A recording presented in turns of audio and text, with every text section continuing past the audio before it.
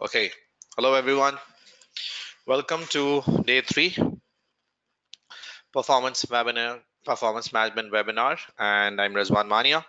So I hope you people are good and the previous two days uh, would have helped you in raising your confidence and yes, uh, will give you much more uh, confidence uh, for your examination.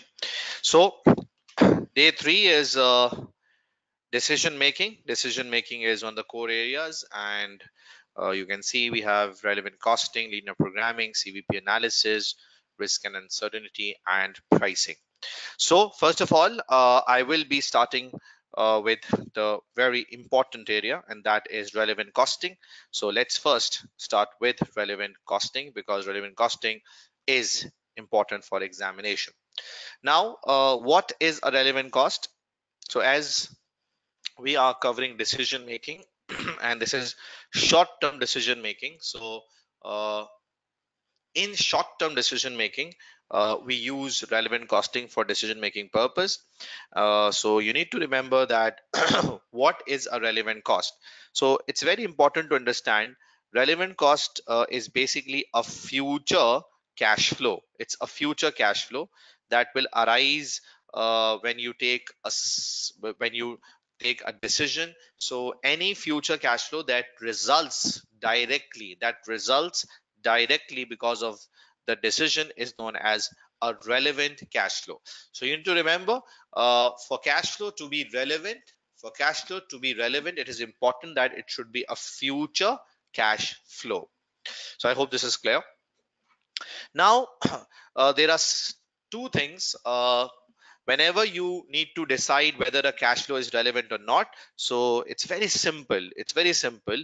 Uh, the first thing is uh, for any cash flow to be a relevant cash flow it should be incremental cost or an incremental income. So any incremental cost or income is known as a relevant cash flow. So there are so many examples uh, of incremental. Uh, for example uh, if you uh, are deciding uh, whether you need to buy a shoe or not. So if you will buy a shoe so the cost of that shoe uh, is an incremental cost. Okay? So the cost of the shoe is an incremental cost. So if you go for a certain decision so because of this any cost that arises uh, is known as incremental cost or any income that arises is known as incremental income. So definitely i'll give you examples of uh, these when you move towards the question. Uh, another thing is opportunity cost. For a cost to be relevant it could either be incremental or i'm writing or or it could be opportunity cost. So if it is an opportunity cost that would again be classified as an incremental cost. And we all know what is an opportunity cost. Opportunity cost is basically the cost of second best alternative foregone. Uh, the sacrifice that we are doing that is known as opportunity cost for example we are doing a job of 100000 and we got an another opportunity uh, of 1 lakh 20,000. So keeping in mind the financial numbers, we would want to go towards 1 lakh 20,000. So that 1 lakh 20,000 job is what we opted for. And what we left behind is job number one. And that job number one was giving us 100,000. So the sacrifice that we have done of job number one and that sacrifice is of 100,000. So this 100,000 sacrificed is opportunity cost. So it's simple. Whatever you do uh, whatever sacrifice you do that is known as opportunity cost. For a cost to be irrelevant uh, it could be sunk cost any cost that is a past cost which means uh, had already been incurred now what i mean to say had already been incurred it's very simple at the time of taking the decision when you are taking a decision so at that time of taking a decision that cost had already been incurred at the time of decision making. So that is known as sunk cost, past cost, and it is not relevant. so past cost is already incurred. Now comes another cost that is known as committed cost committed cost is a cost that will arise in future that will arise in future. And you would be thinking if this will arise in future so uh, as i mentioned initially any future cash flow is a relevant cost. So you would be thinking okay this committed cost should be a relevant cost. It is not. It is not a relevant cost. Even though this will be incurred in future but the commitment but the commitment to incur this has been made in the past which means at the time of decision making at the time of decision making are you all listening me everyone? Hello? Come on say yes. Are you all with me? A quick yes for the confirmation.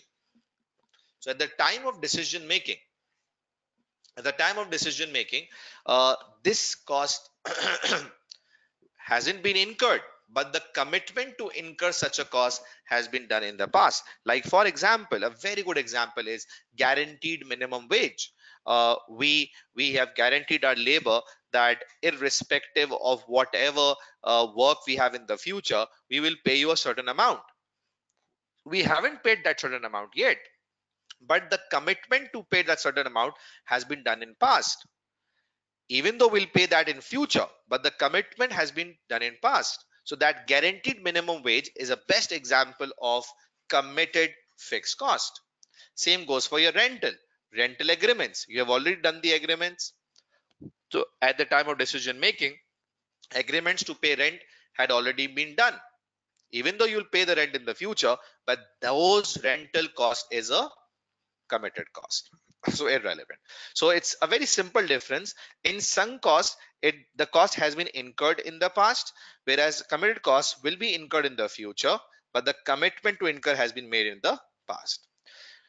Notional cost imaginary cost uh, any kind of absorption any kind of uh, cost like depreciation is not relevant. For example any non-cash item any non-cash item or I would say any depreciation, uh, any uh, absorption you are doing, you're working out the OARs for fixed overheads. So all those imaginary costs, artificial costs that does not exist in real are notional and will not be relevant costs. Like I said, non-cash flows and depreciations.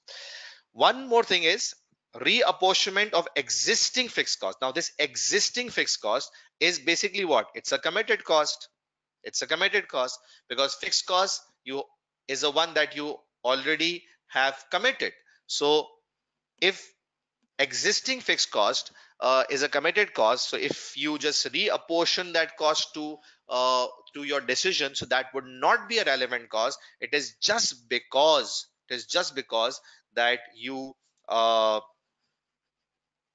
uh, classify this as a committed cost. So any reapportionment of existing fixed cost is a committed cost and is not a relevant cost.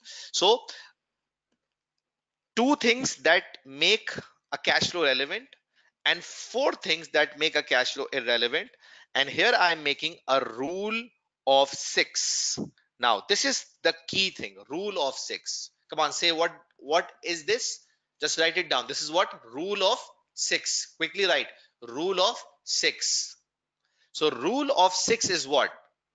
Rule of 6 means these are the six things that you need to keep in mind for relevant costing decision making.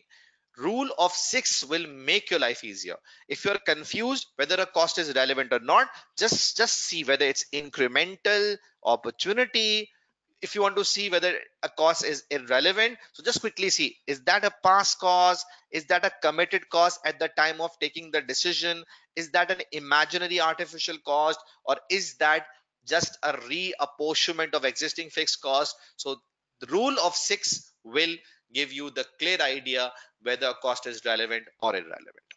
Now we use relevant costing for certain types of decisions and the decisions are very famous one. One is the one-off contract now this decision uh, uh, uh, is one that we use taking relevant costing principles where we see uh, whether we have to go for one-off contract or not. Now what is one-off contract? For example any one-off opportunity that the business needs to avail in the short term uh, by availing that in the short term business can get any long-term benefit. So one-off contract uh, decision making is done using relevant costing principles then make or buy decisions are also conducted using relevant costing principles. That is in short term if we need to decide whether we should produce a product in house or buy that product from outside. So the decision of make in house or buy from outside again requires relevant costing principles to be followed. Then we have shutdown decisions like whether we should uh, close a certain uh, business segment, a loss making business segment, uh, a loss making product, a loss making department. Uh, so we have to consider that whether we should close a particular thing, a department, or a product that is showing a loss. In the short run should we close it or not? So for such shutdown decisions we do use relevant costing principles okay notional uh, is imaginary cost like non-cash flows like depreciation. These are artificial costs and they are one that do not have any real existence. So these are not relevant cost. Okay further processing decisions are a one uh, that uh, that that the business business that takes when they need to decide whether uh, they have to uh, process a, a, product further uh, and uh, would that further processing be good or not? For example for example if a company is making a petrol and that petrol is a regular petrol okay? Regular petrol. So company needs to decide whether company should sell this petrol as a like regular petrol or company should further process it further processes and make this high octane. If company wants to make this high octane by further processing so the decision would be whether to sell the product as a regular petrol as a regular petrol or or uh, we should uh, further process this and make this high octane and sell this after high making this high octane. So the decision making is whether we should sell at uh, uh, the, whether we should sell this as a regular petrol or we should sell as a high octane petrol by further processing it. So in that again we use relevant costing principles. So relevant costing uh, principles rule of six is used uh, for these different situations. One-off contract i did mention that uh, any one-off opportunity uh, that is some work that is not a regular work for the business and if business is getting an opportunity for one of uh, business uh, so uh, using relevant costing principles we take a decision whether we should go for this one-off contract or not because this is not our regular work uh, and for example for example we need to win any government tender. So we know that uh, in short run uh, if we use relevant costing principles and we uh, just offer a price which is a low price and just win this tender. So once we win win the tender we will get long run business from the government. So it's a short term decision making uh, and one-off contract is one of uh, one of opportunity that the business gets uh, that business uh, wants to avail in order to get benefit in the long run. So for that short term one-off contract company can use relevant costing principles. So these are different situations uh, in which we use relevant costing principles and uh, the rule of six. I, I would say the rule of six is the king here. If anyone remembers the rule of six they can handle relevant costing. Whatever decision making comes in the paper whether it's a one-off contract it's a shutdown decision it's a make or buy decision it's a further processing decision or even if it is something else even if it is something else okay? So you can take decision very easily. So let's now use this rule of six and let's move towards uh, our first examination question a very latest examination question a very good examination question uh, that i just want to start from. So let's start uh, with a very very good question uh, that has been uh, tested in a recent examination as well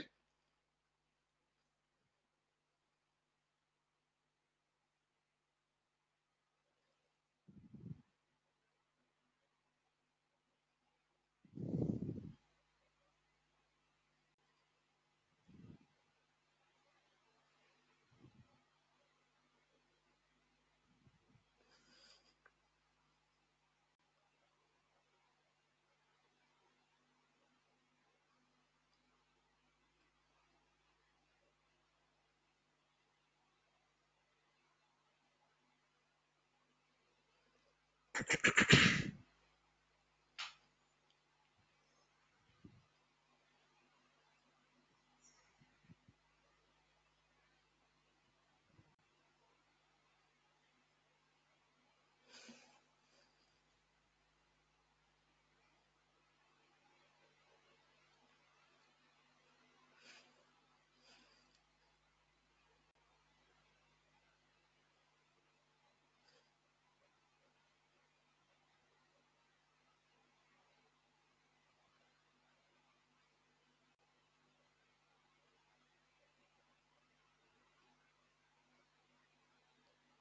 Okay, so here we are with this question. Uh, this is a latest exam paper of March June 2019 attempt. So yes, this will give us a very good idea how to handle questions uh, that relates to relevant costing and these are the one that have been recently tested. So a very good question, I would say, uh, if someone is good in terms of calculation, so they can handle question like these if they are very clear about the relevant costing principles. So it will be really easy for them to handle such questions. Let's see how we will be approaching this question.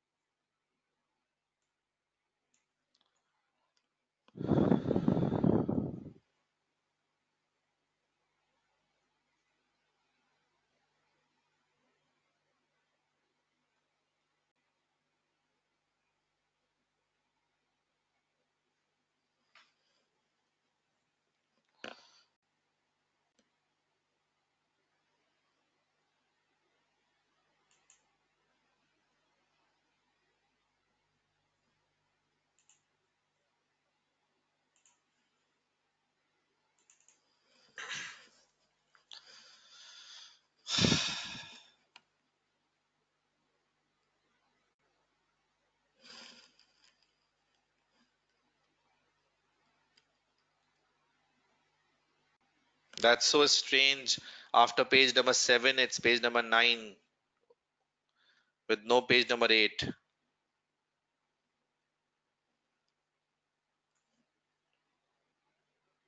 Okay, so let's open again.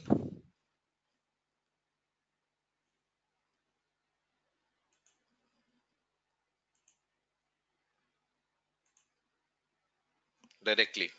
Now,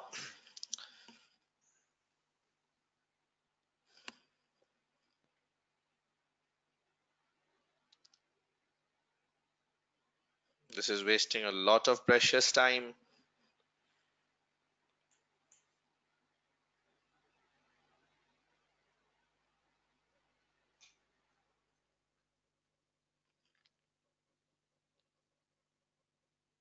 Now, let's start with this question. I hope uh, it's visible to all of you. Let me just make it more easy for you to understand. Now, Belton Park Resort is a new theme park uh, located in the country of Beeland. The resort is made up of a theme park, a hot hotel, and an indoor water park. Now, just just keep this in your mind. I will not solve this entire question today. Uh, rather, I will give you this question as well to solve. So make sure one thing I'll be solving here and one part I'll give you today to solve. So do understand the technique. So it's a theme, eh, it's, it's a resort where you have a theme park, a hotel and an indoor water park. The resort opened two months ago and is already very popular. All theme parks are required by law to shut down in colder month of Jan because of the risk of accidents, Belton Park Resort must decide whether to shut down. So this is a shutdown decision, the whole resort or just the theme park. It could choose to open. It could choose to keep and keep open on the hotel or the water park. So since the Belton Park Resort has not been open for long, there is limited historical data available about cost and revenues. However, based on the last two months, the following average monthly data is available where we can see the data for hotels and water park. So number of rooms, average room rate per night, average occupancy rate per month, average night spent on extras per room, contribution margin for extra 60%. Please just really just focus on the data, okay? Otherwise you will lose when I'm doing the calculation. Water park information is also given to you. Extra includes anything purchased by the customer not included in the room rate or admission price. Okay. Now, uh, let me just quickly go towards the requirement. Calculate the incremental cash flow uh, for the month of January 31 days. You have to assume uh, if the park decides to keep open the hotel and the water park for 15 marks. In each case, state whether it should remain open or should close. So you have to just take a decision and tell whether uh, it's good to open or it's good to close using incremental cash flow. So you have to see, uh, as it says, if the company decides to keep open. So your mindset here will be to keep open. Okay. As the question states that uh, keep the mindset of keeping it open. Okay. If we keep the mindset of keeping it open, this is critical. So your mindset should be that if we keep this open, what will be the incremental what will be the additional cash flow in terms of income in terms of cost okay so make sure by looking at the question it says if we decides to keep it open so our mindset while doing the calculation would be that we if if i am saying if we keep it open then what happens? If we keep it open okay? So we have to do calculations for hotels and water park. Now hotel calculation will be done by me right now and water park calculation will be done by you people in your homework okay? So i will just read hotel information in front of you right now and we'll skip the water park information that you have to solve later on and then tell me what the answer is. Are you ready for this guys? Yes or no? Now management estimates that for january the average room rate per night would need to be would need to decrease by 30%. So this is this is important to remember that by 30% uh, the the price will go down. And the admission price for the water park by 20%. With such reductions, it is estimated that occupancy rate of 50% would be achieved for the hotel and that the number of visitors to the water park would be 52% lower than the current levels.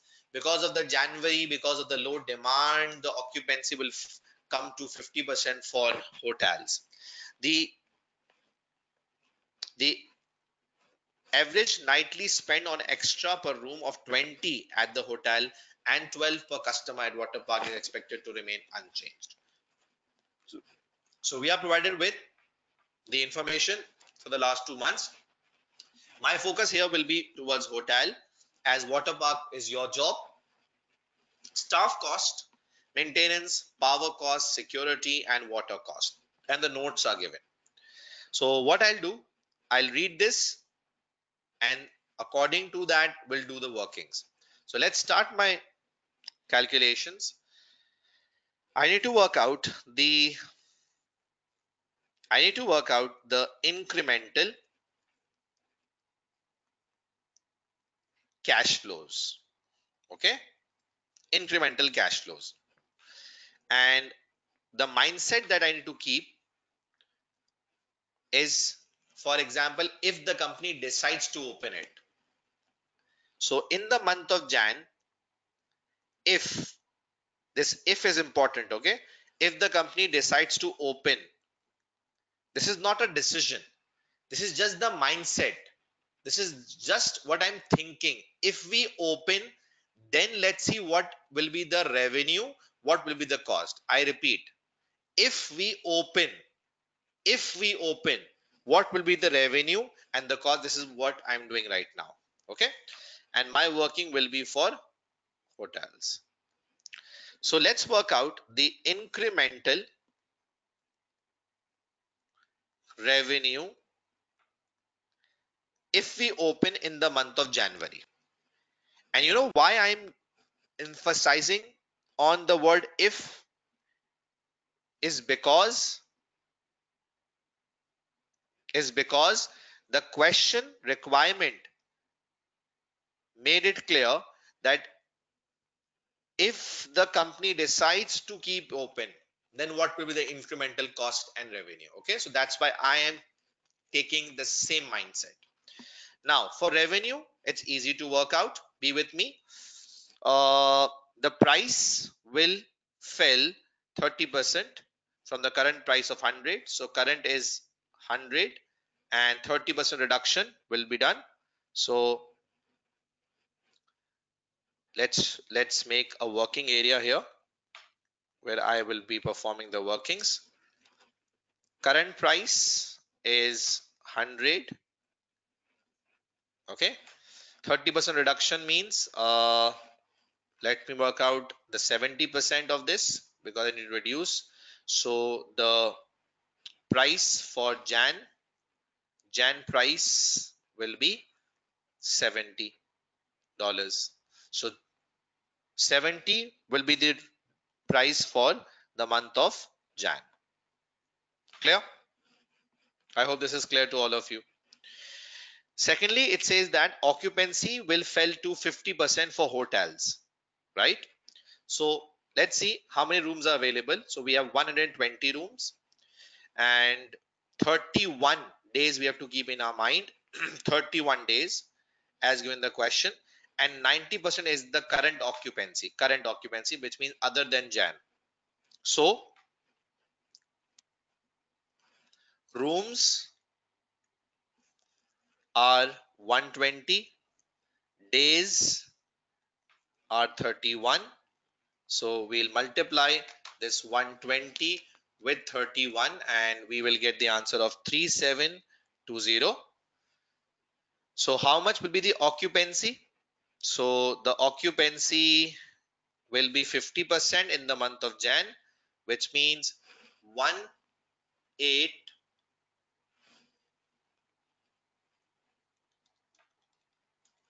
60 rooms will be available will be used 1860 rooms will be used.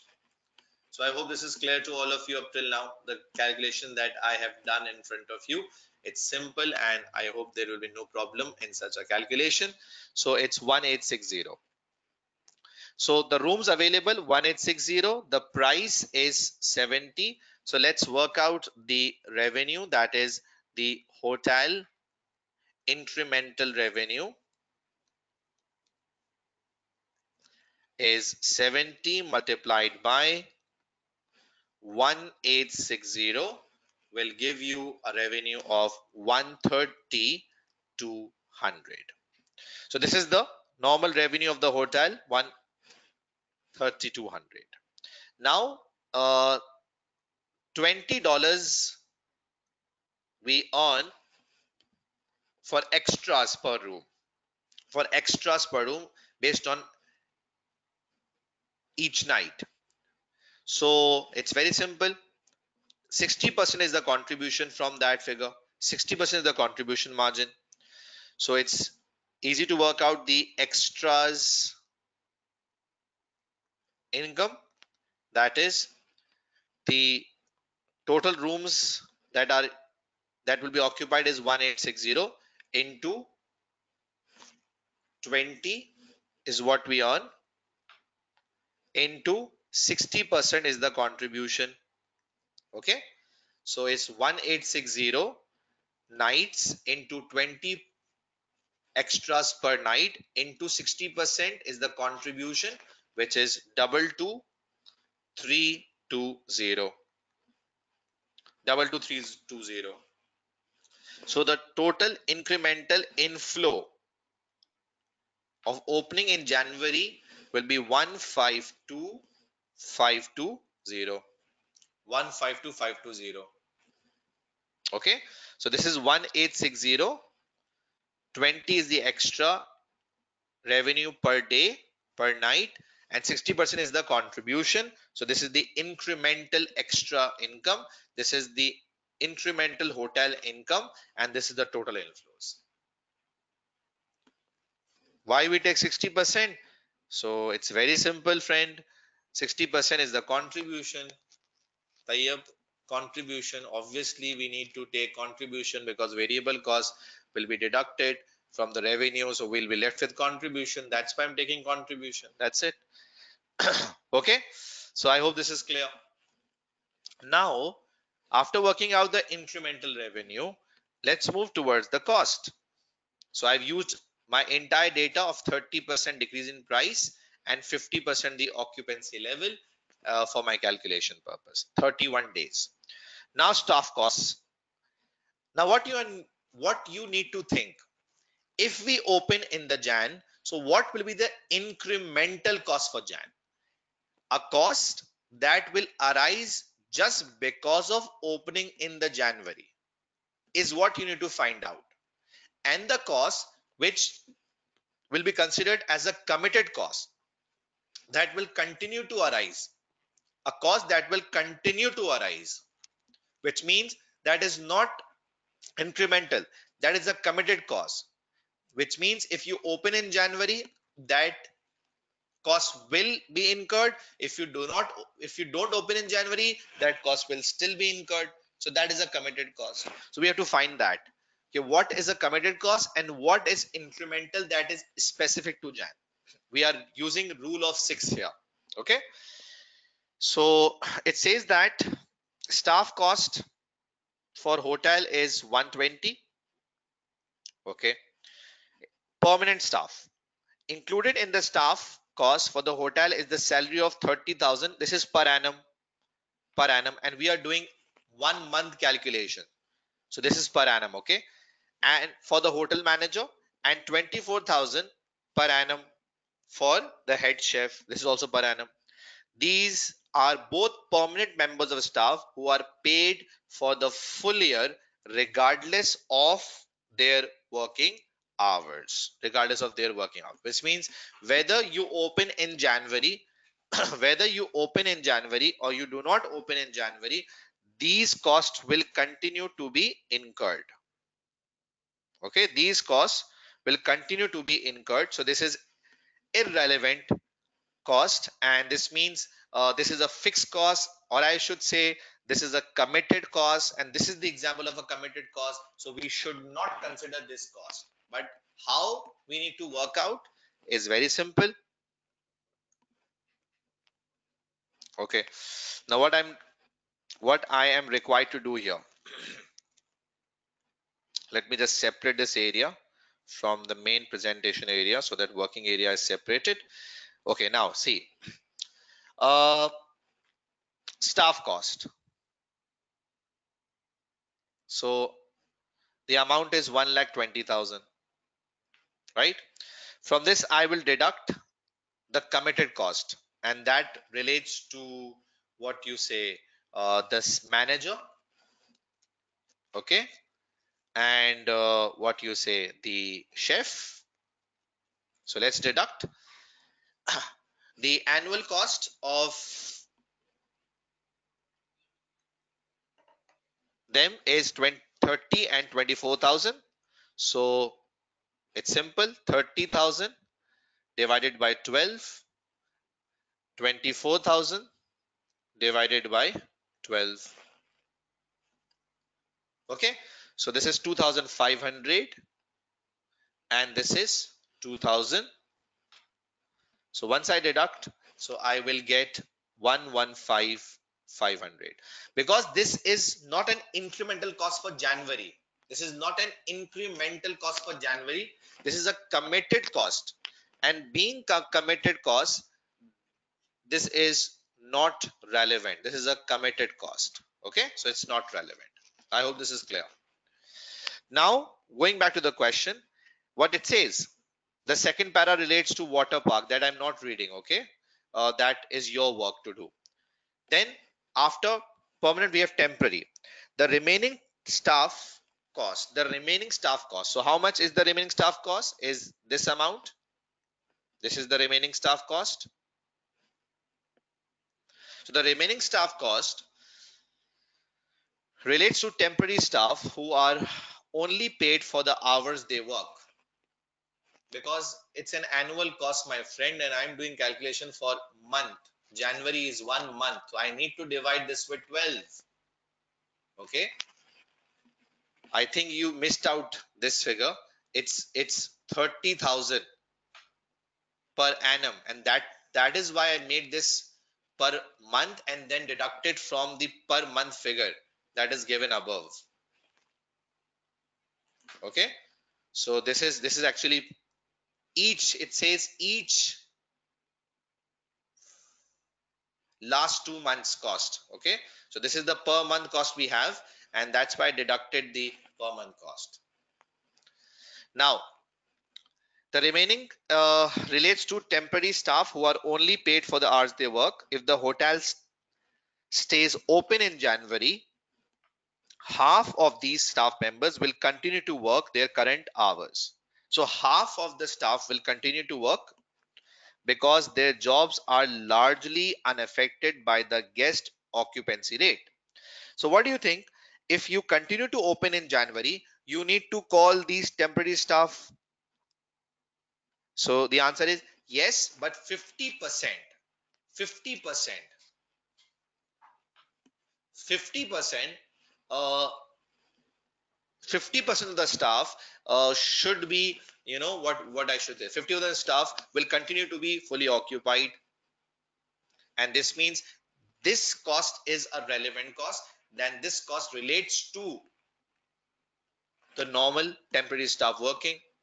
So if you see if the hotel stays open half of these staff members will continue to work. If they continue to work the cost will arise. So this is an incremental cost. So what i'm doing here is let me just divide these into two areas. 50% will continue.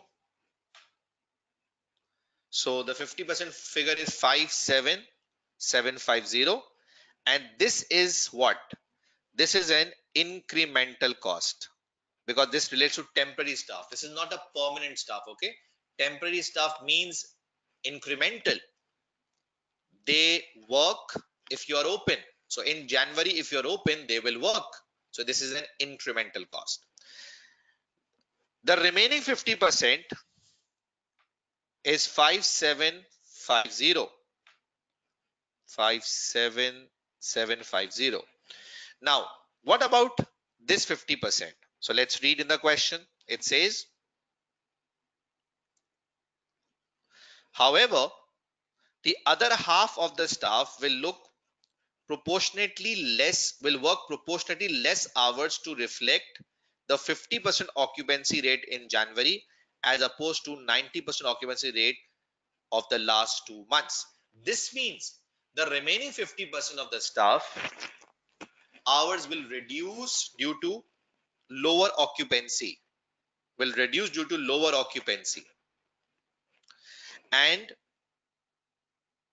how much how much will they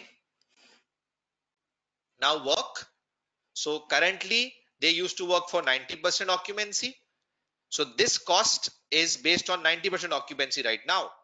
So from this 90% occupancy i need to bring this to 50% occupancy from this 90% occupancy the cost is based on 90% occupancy okay so from this 90%, I need to bring this to 50% occupancy. So how will I do? So it's very simple. This cost is based on 90% occupancy right now. 90% occupancy. So how to bring this to 50% occupancy? Simple. You need to divide this with 90 and multiply with 50%. So this cost now will be based on 50% occupancy. So currently, obviously the question did mention that currently the company is working on 90% capacity. Okay, so this cost was based on 90% and you divide this with 90 multiplied by 100 to bring this to 50 percent so the figure is 32083 so you have to consider incremental here if you open in the month of January, let me quickly just give you a recap of staff cost. If you open in the month of January, your current cost is 120. From this, you will deduct the committed fixed cost of manager of one month. You will deduct the committed fixed cost of chef of one month and you will left with this cost which relates to temporary staff. Now, the 50% of the temporary staff will continue to be used in the month of January, which means this cost will be incremental and you will consider it. The remaining 50% relates to the temporary staff, but that temporary staff now will not have to work for the normal hours that they used to work uh, at 90% occupancy and now they will work according to 50% occupancy. So this cost is based on 90% occupancy. So we divide this with 90 multiplied by 100 to bring this to 100% to bring this to 50% occupancy and this is the cost that I will be charging for the month of January which is incremental cost based on 50% occupancy. So I will add these two together. I'll add these two together and once I add these two together so what is the sum we have so the sum is 89833. Okay. So staff cost incremental 89833 is the incremental staff cost if we open in the month of January that I've cons I'll take here as I will add these two together.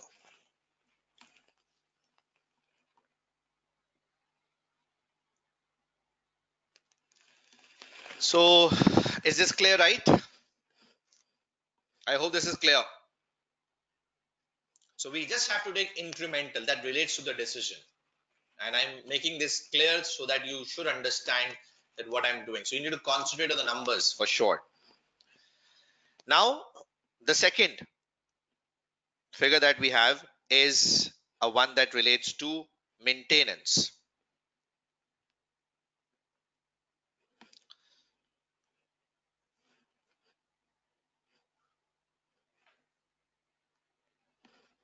Okay, now I'm using uh, this PDF where I can write.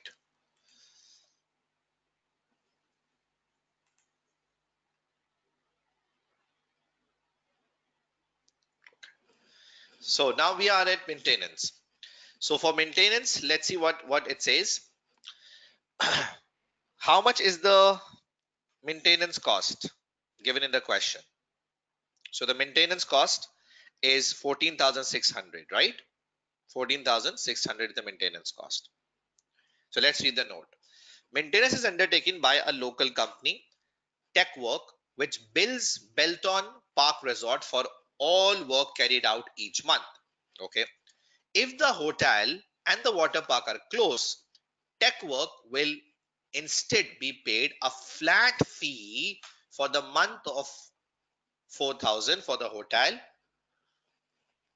and 2000 for the water park. Now, it's very simple. This flat fee is what? Is a committed cost. This means this will continue to be paid even if you close it, it says, even if you close it, you will pay this flat fee.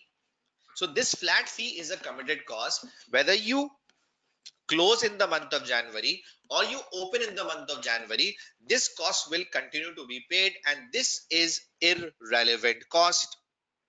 This is irrelevant cost. Okay. So being irrelevant, what I'm supposed to do? Very simple. I just need to deduct this cost from the figure of maintenance, which is 14,600. So you can see this 14,600. From this, I will deduct this 4,000 irrelevant cost that is one that will continue to be paid. So I can simply take here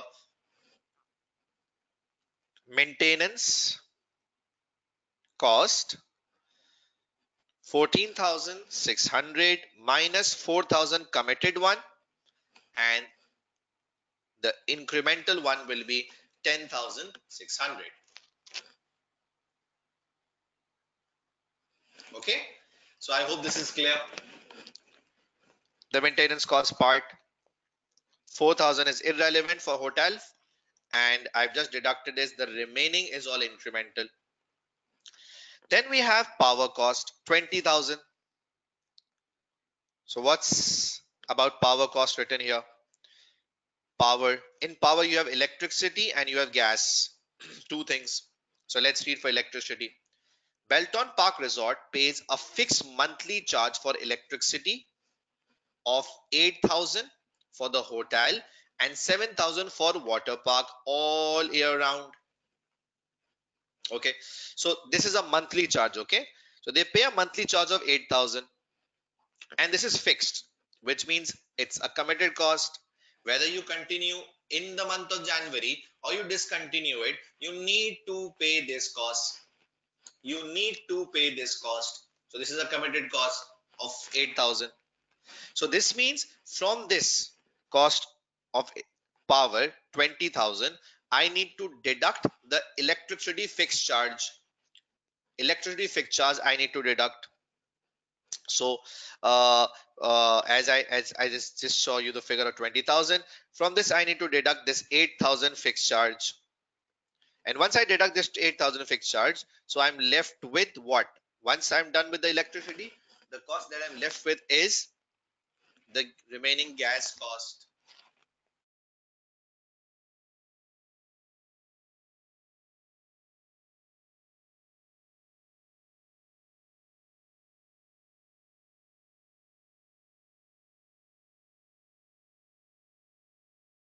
Okay, so from this power cost, 8,000 I have deducted.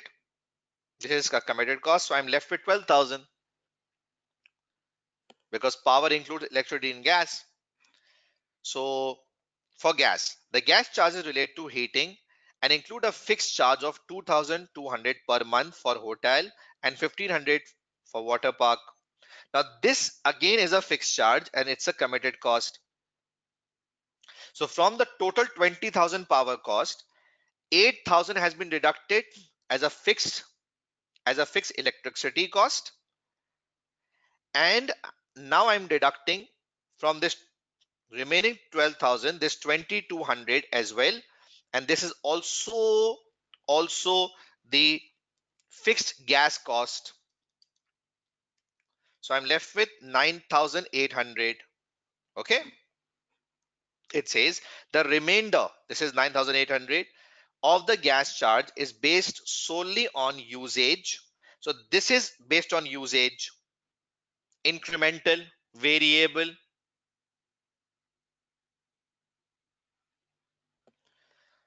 Would be expected to increase by 50% in January because of cold weather. So this remainder is a one that is uh, de that depends on the usage. And this needs to be increased because of the cold weather in January because we, you will be using more gas. So I need to increase this with 50% we'll multiply this with 1.5 to incorporate the 50% impact. And that 1.5 make becomes 14,700 so it's simple. Power cost was 20,000 fixed electricity deducted 8000 fixed gas deducted 2200 we are left with 9800 the remainder this relates to the usage and needs to be increased by 50% for January. So I've increased this with 50% and this is 14,700 that relates to uh, the usage and this is incremental cost. This is incremental cost so in my answer for power, I will be writing 14,700 as my incremental cost. That is 9,800 into 1.5 is incremental cost. Okay. So this is incremental cost. Now the next thing we have is security cost 13,600 So let's see what it says for security. If the hotel and water park are closed, no changes will be made to the current arrangement for security while premises are empty. This means this will continue to arise. This will continue. This will remain same. No change will be made, which is making quite clear that nothing will be done as regard this cost and this will continue to arise which is making very very much clear that this is what? This is committed cost. Security cost is a committed cost. Whether you open in january or you close it uh, you have to bear this uh, security cost at, at at at any cost. So nothing needs to be done for this and this will continue. Is this clear everyone? So this is a committed cost and nothing will be charged as far as the security is concerned. So for security, uh, I would write there is no incremental cost because this will continue to arise whether you close it or not. Then water. So water 12,900. Let's see what it says. It is estimated that water cost for hotel would fall to, now this says fall to 6450 for the month if it remains open in January. And second is for water. So the second is for water park. So I'm not reading for water park. So this cost will fall to 6450. So right now what the cost is? It's 12,900. So from 12,900 it will fall to 6450. Now, what do you think? From 12,900, it will fall to 6450. So what will be the cost if we continue in the January? So the cost will be 6450. If we continue, so it will be 6450. Automatically, they have given us the figure. So this is incremental 6450 and this is the water cost that's it. From the incremental, from the incremental revenue, we will just deduct these incremental costs and we'll see whether we are getting net benefit or cost for opening. So after water, nothing is left, right? So after water, nothing is left. Everything is done. Now let's see what is the incremental cash flow. So can you tell me what is the incremental cash flow? It's a positive answer or a negative answer. So it's positive answer of 72562. 72562. This is a positive answer of incremental cost. And yes, this means you need to take a decision. Now let me tell you here the marking scheme. 15 marks were required for this part of the answer. From this 15 marks, 8.5 marks are for hotel working, 6.5 marks are for water park. Are for water park. And in this 8.5, 0.5 marks are for conclusion, which means your decision. And 8 marks are for working. 8 marks are for working. Okay? So eight marks are for working. So what will be your decision? What will be your conclusion? So conclusion will be should we continue? Yes we should stay open in jan as incremental benefit will be 72562. Incremental benefit will be 72562. So for this you are getting 0.5 marks and for all this you are getting 8 marks. Okay. So I hope this is clear to all of you, the calculation. Uh, I have considered the incremental costs compared with incremental revenue and these are the workings that I've done. Uh, so I hope this is clear. It's very simple. What I personally believe is if you know the rule of six, any question of relevant costing you can solve by rule of six. Any any working you can do by using rule of six with no confusion at all. Sorry, I just wrote the wrong figure. Yeah. The net benefit. Yeah. The net benefit uh, is 3937. Yeah. Yeah. You're right. 3937. This is the net figure, net benefit. So this is a benefit. So the decision remains unchanged. And let me change here as well. It's 3937. So what you say, friends, is this is this easy? Incremental revenue means additional revenue that you will earn if you continue in the month of Jan. Incremental revenue. Okay. So quickly, if you have any questions, quickly ask. Let me just make this more visible for you people on one screen. You can even take a screenshot here. You can even take the screenshot if you want to. Just take a screenshot and share in the group as well so that everybody gets to know the working. Just take a screenshot.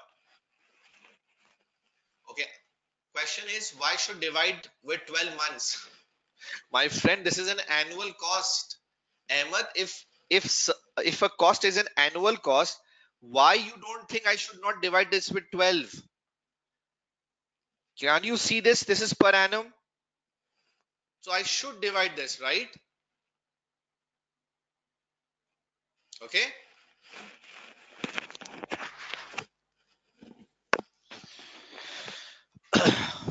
now this is clear.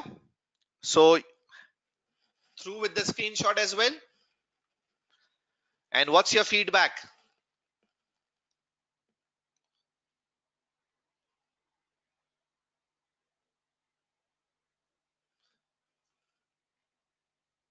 Electricity cost was just a fixed cost was just a fixed cost. If you just look here electricity cost was just a fixed cost of 8000 and it was not relevant. Don't uh, i'm sure you are thinking that you are in pakistan and you pay bill according to the uh, consumption. So right now in the question it's just 8000 fixed. And i hope if this happens in our country so we'll be very much happy that we are paying just 8000 per annum whatever we use so but this is not the case okay? Yeah. Is this clear everyone?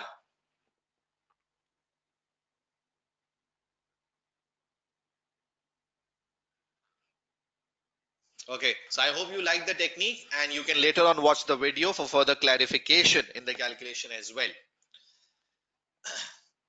Yeah this francisco this 5570 uh, this 5570 uh, is for the staff that continues to be fully used in January and the remaining 5570 will not be fully used.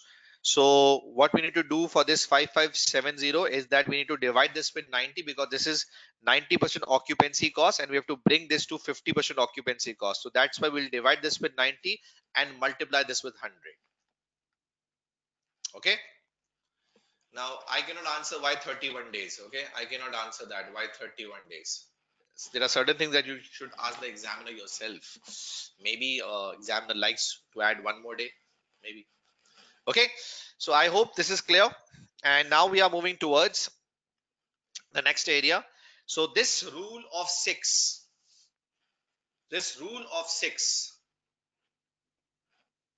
is a one that will help you a lot. I hope the answer is clear to all of you. So what's your feedback? Did this make made things easier for you or not? Did this make things easier for you or not? What's your feedback, guys? Tell me. Rule of six. Is rule of six good? Okay. Now, the next area is CVP analysis. Cost volume profit analysis. cost volume profit analysis okay now you need to solve the remaining uh, part then we'll solve part b. Hamza okay? You need to solve the remaining part for water parks. So you have to solve for water parks from homework. Will you solve in the same way from homework? Yes guys tell me.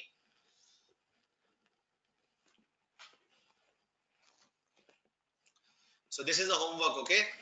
Now cvp analysis the major calculations in cvp are weighted average for multiple products. Normally in an exam it's multiple product situation which means company is producing more than one products. So four calculations are important that you should know. Cs ratio contribution to sales ratio break even point. I'm sure people know about break even point no profit no loss. Margin of safety uh, the point where uh, the the area that is that is a safety area for the business maybe the profit area for the business after break even and the calculation of target profit that how many units company needs to achieve in order to achieve a desired target profit. Okay? So these are the four important calculations of cp analysis. But in a multi-product situation where company is uh, making and selling more than one products so all these four calculations are performed using weighted average workings. All these four calculations are performed using weighted average workings so for that, what we do, we work out weighted average contribution per unit. CPU means contribution per unit and we work out weighted average selling price per unit. So how we work out weighted average contribution per unit is total contribution for all products divided by total number of units. And how we work out average selling price is total sales revenue for all products divided by total number of units. So through this we get weighted average contribution per unit and weighted average selling price per unit. Okay. So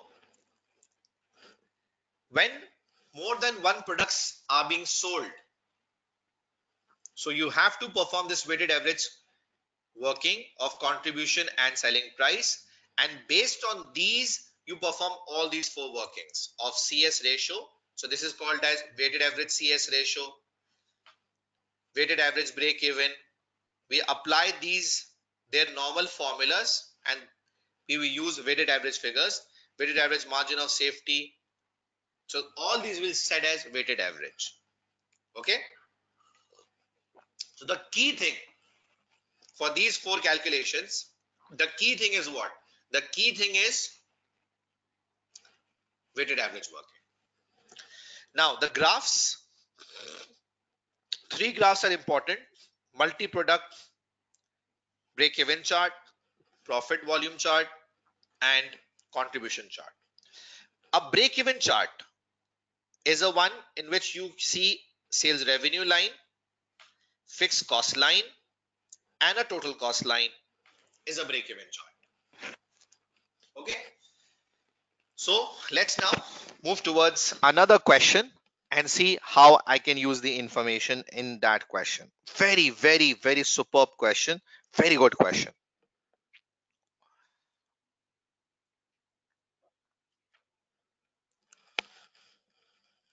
And I'm using all the latest questions so that we are covering all the latest things that are given in the paper.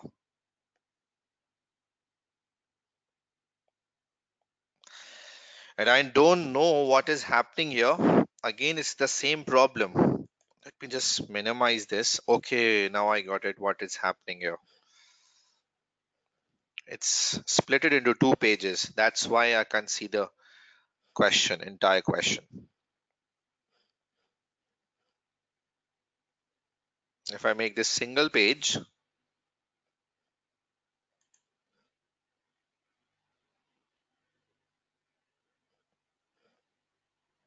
Now this is nice as well. Okay, so is this visible to all of you?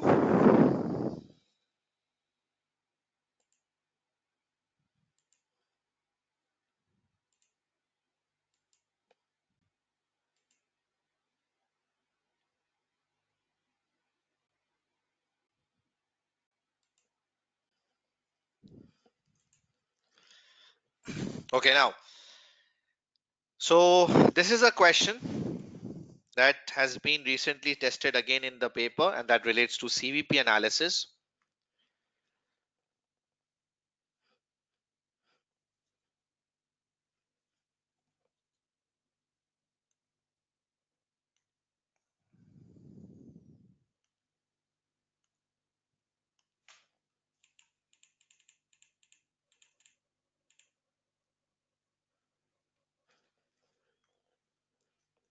Okay. The Alka Hotel is situated in a major city close to many theaters and restaurants. Be with me, please. The Alka Hotel has 25 double bedrooms. 25 double bedrooms. And it charges guests 180 per room per night. Okay. Regardless of single or double occupancy. The hotel's variable cost is 60 per occupied room per night. The Alka Hotel is open for 365 days a year and has a 70% budgeted occupancy rate. Okay. This is the budgeted occupancy rate. Fixed costs are budgeted at 600,000 a year and accrue evenly throughout the year. That's fine. During the first quarter, quarter one of the year, the room occupancy rates are significantly below the level expected at other times of the year, with Alka Hotel expecting to sell 900 occupied rooms night during quarter one. So that's pretty much low in quarter one. Options to improve profitability are being considered, including closing the hotel for the duration of quarter one or adopting one of the two possible projects as follows. So one option they have, let's close the hotel because CVP analysis is a decision making technique and it helps in taking right decisions. Other option they have is to uh, go for one of the possible options given below. Project one. Let's see what theater package is. For quarter one only, the Alka Hotel Management would offer guests a theater package. Couples who pay for two consecutive nights, which means they need to buy the room for two consecutive nights, at a special rate of 67.5 per room night will also receive a pair of theater tickets for a payment of just dollar hundred. The theater tickets are very good value and are the result of long negotiation between Alka Hotel Management and the theater. The theater cost the theater ticket cost the Alka 95 per pair. Okay.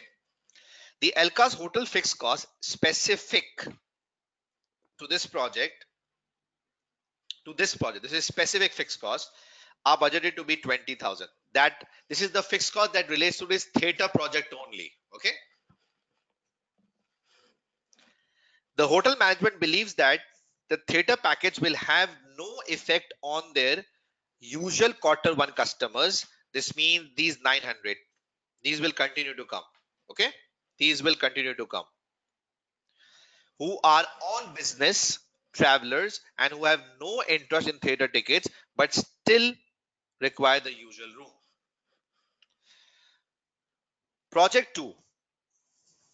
This is a break-even chart. I just told you, see, a break-even chart shows you sales revenue line, fixed cost line, total cost line.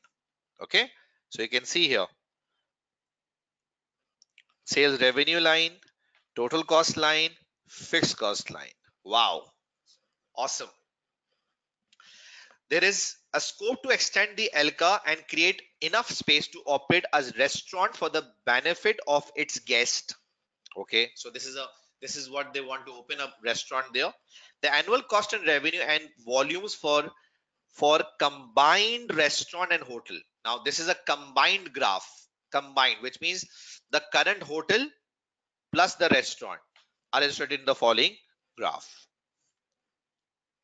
The graph does not include the effect of theater package, which is option one. Now, let's move towards the question and see what has been asked. Using the current annual budgeted figures, so we have to use the budgeted figure, annual budgeted figure. Ignoring the two proposed projects, just ignore the projects. Calculate break-even number of occupied room nights, which is break-even per unit. Break-even per unit is what I need to work out. Per room, break-even per room means per unit. And the margin of safety as a percentage, I need to show for four marks. Margin of safety as a percentage. Okay? So if i go towards the upper information and i have to ignore these two projects so we'll be able to work out from this information that is available. Okay i will be able to work out Alka hotel break even in units rooms. Rooms means units that we need to work out. So what is the formula? It's fixed cost divided by contribution per unit. Okay? So let's move towards the workings. Fixed cost is 600,000 for the year 600,000 divided by contribution per unit. So 180 is the selling price and 60 is the variable cost. So 180 minus 60 will give you 120 as your contribution per unit. So easy questions have been tested lately. I don't know why people cannot pass. It's the examination pressure that is killing them. That you need to handle. So 180 minus 60 and here you have the answer of break even in terms of rooms. How many rooms you need to sell for break even? and 5000 rooms. This means for break even it's important to sell 5000 rooms. It's important to sell 5000 rooms if you need to break even okay? Then what i need is margin of safety as a percentage. So how will i work out? It's very simple formula is sales units minus break even units divided by sales units because it requires as a percentage. So let's do the working. How much is the break even units? That I know is 5000. How much is sales units? That I need to work out. So if I go back to the question, let's work out 25 double rooms we have into 365 days the hotel is open okay so 25 into 365 is 9125 rooms are available in the hotel throughout the year. Throughout the year 9125 rooms are available throughout the year. It says that we work at 70% capacity. So 9125 multiplied by 70% makes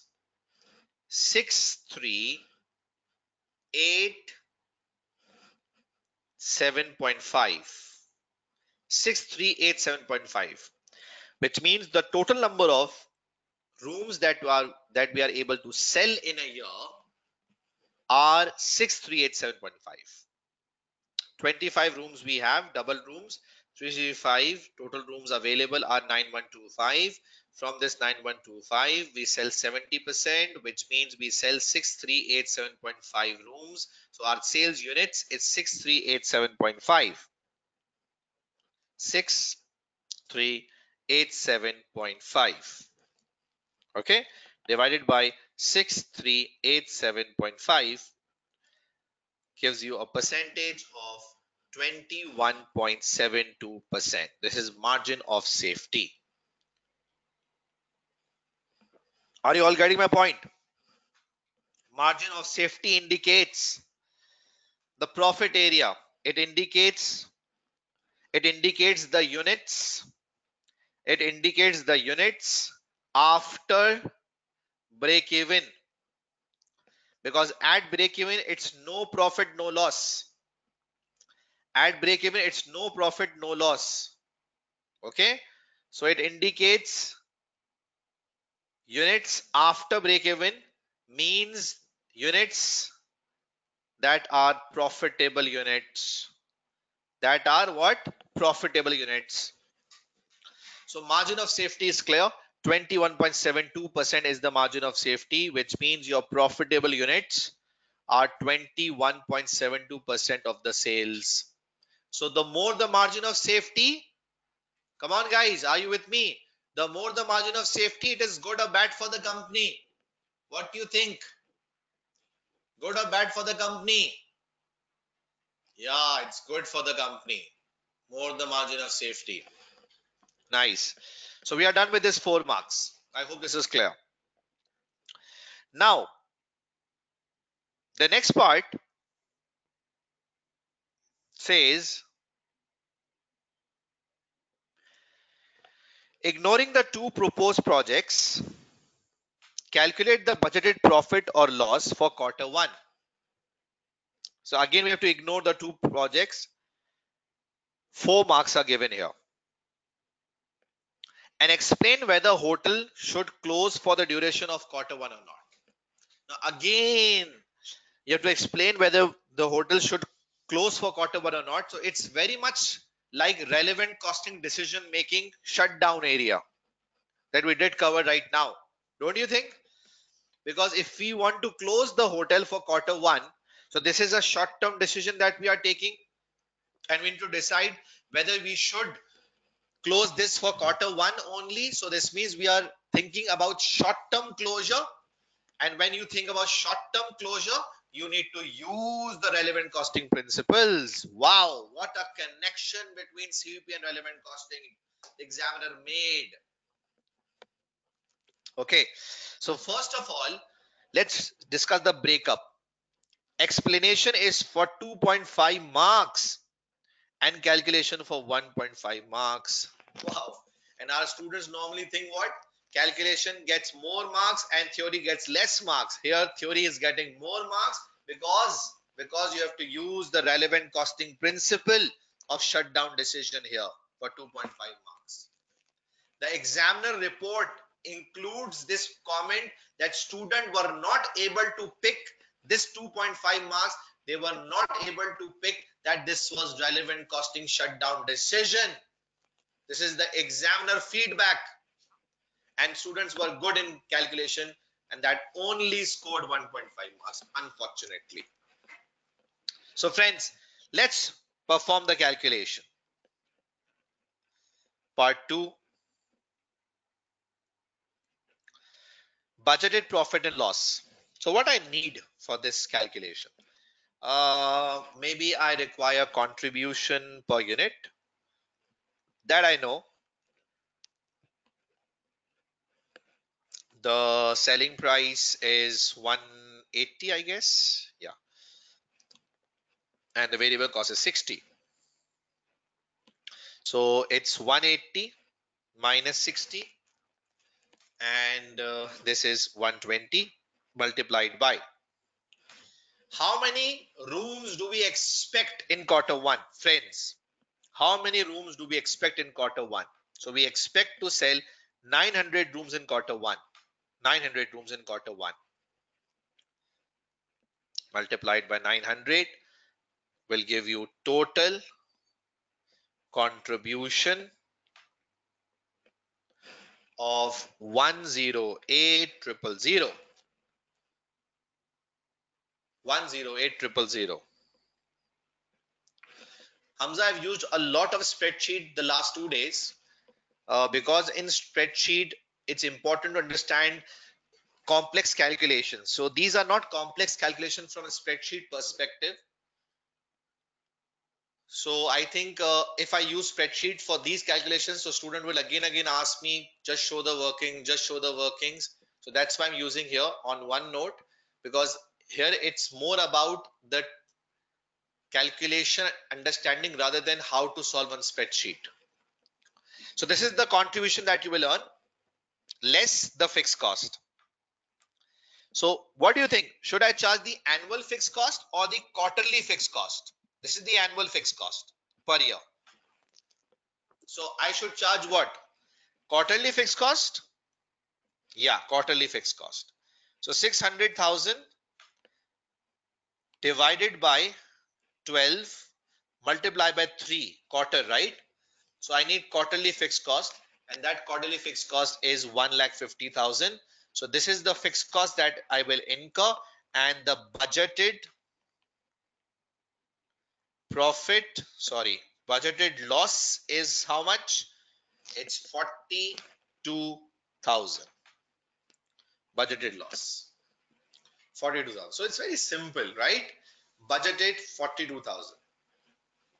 Quarterly fixed cost is what we are required to use. I hope this is clear. Now you are getting 1.5 marks here. That's it. 2.5 marks for what? For applying relevant costing principles. See, this is something we are not aware of. Wow, Majid. This is what I'm explaining right now. I never said, my friend, that this budgeted profit and loss is based on relevant costing. Now what I'll discuss is based on relevant costing. Now what I'll discuss. So, should we close for quarter one? The question is, should we close for quarter one? So, the answer is no. We should continue why? Why we should continue? Because this is 108 incremental contribution. This is incremental contribution. And this 150,000 is a committed cost. It's a committed fixed cost. Will be incurred irrespective. Wow. This 150000 is a committed fixed cost. If you close the hotel for quarter one then too you will incur this 150000 if you will not close you will not you will still incur so rule of 6 this is incremental income are you getting my point, my friends? This is incremental income contribution and this is committed cost. So this means this is relevant. Wow, what a connection between CVP and relevant. Did you like the connection, guys?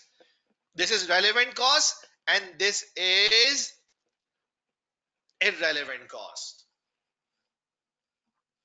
Okay, so considering this loss, we should not close. Are you getting what I've done here? Did you understand the link that I created here? That's good if you're loving it. So my friends, this is the connection. By looking at this loss, the decision will not be to close. Because if you close for quarter one, it's not a permanent closure. It's not a permanent shutdown. It's a temporary shutdown for quarter one.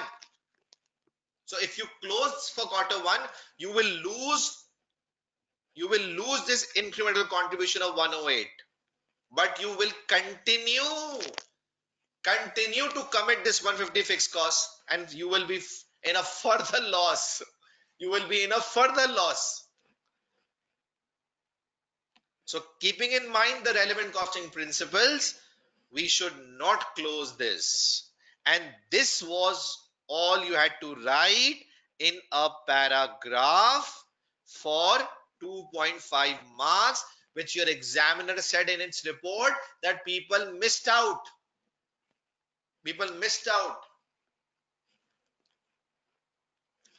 So I hope you are understanding my point here, friends. Is this clear to all of you?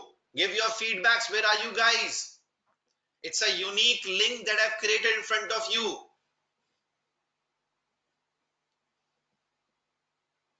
I give break at 9.30 sharp. Okay. So I hope this is clear.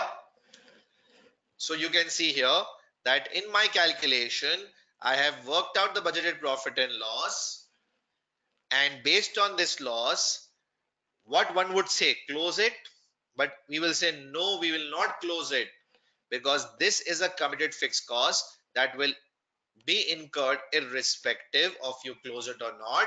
And this is your incremental contribution that you will lose.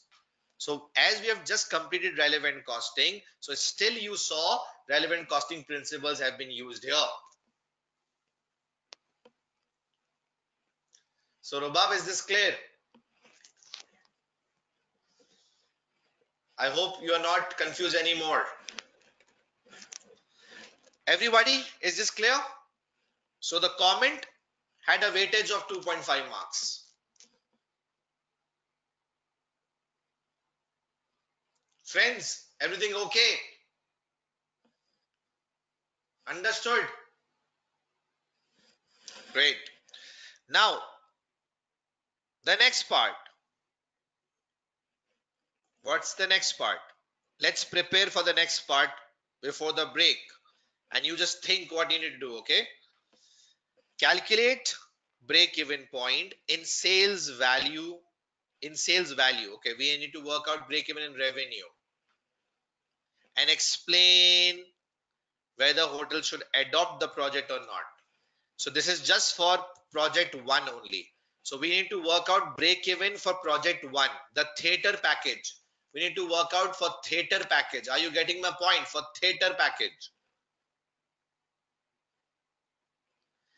Again, 2.5 marks for explanation and 1.5 marks for the break even answer. So let's work out break even for theater package. So we just need to work out for theater here. We just need to work out the break even for theater package.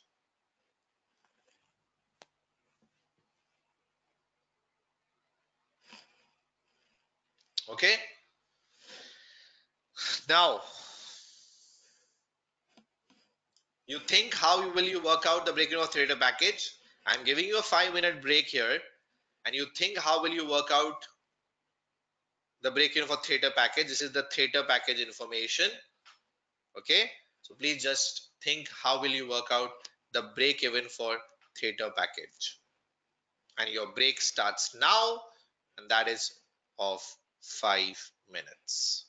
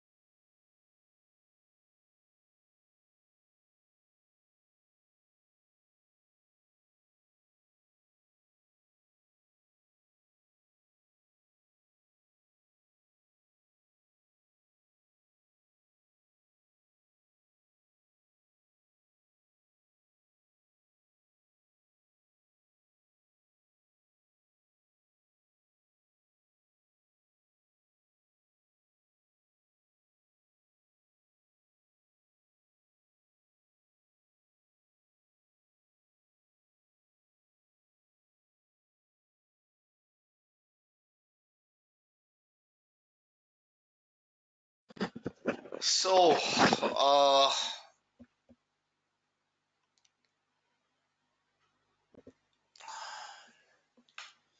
let's start with the working. So I asked you to work out the break even, right? For the theater project. Now let's perform the calculations. Break even in revenue for theater project. Okay. So first of all, we need fixed cost.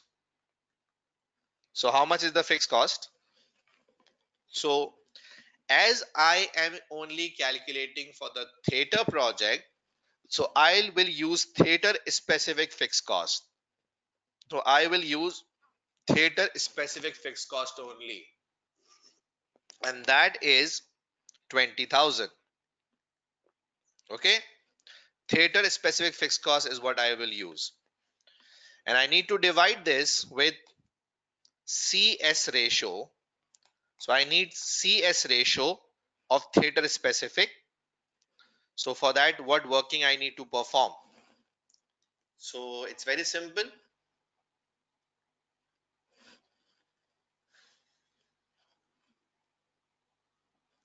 It's very simple.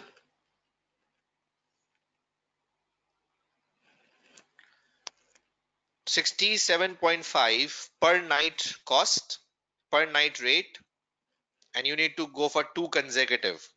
So first of all, uh, revenue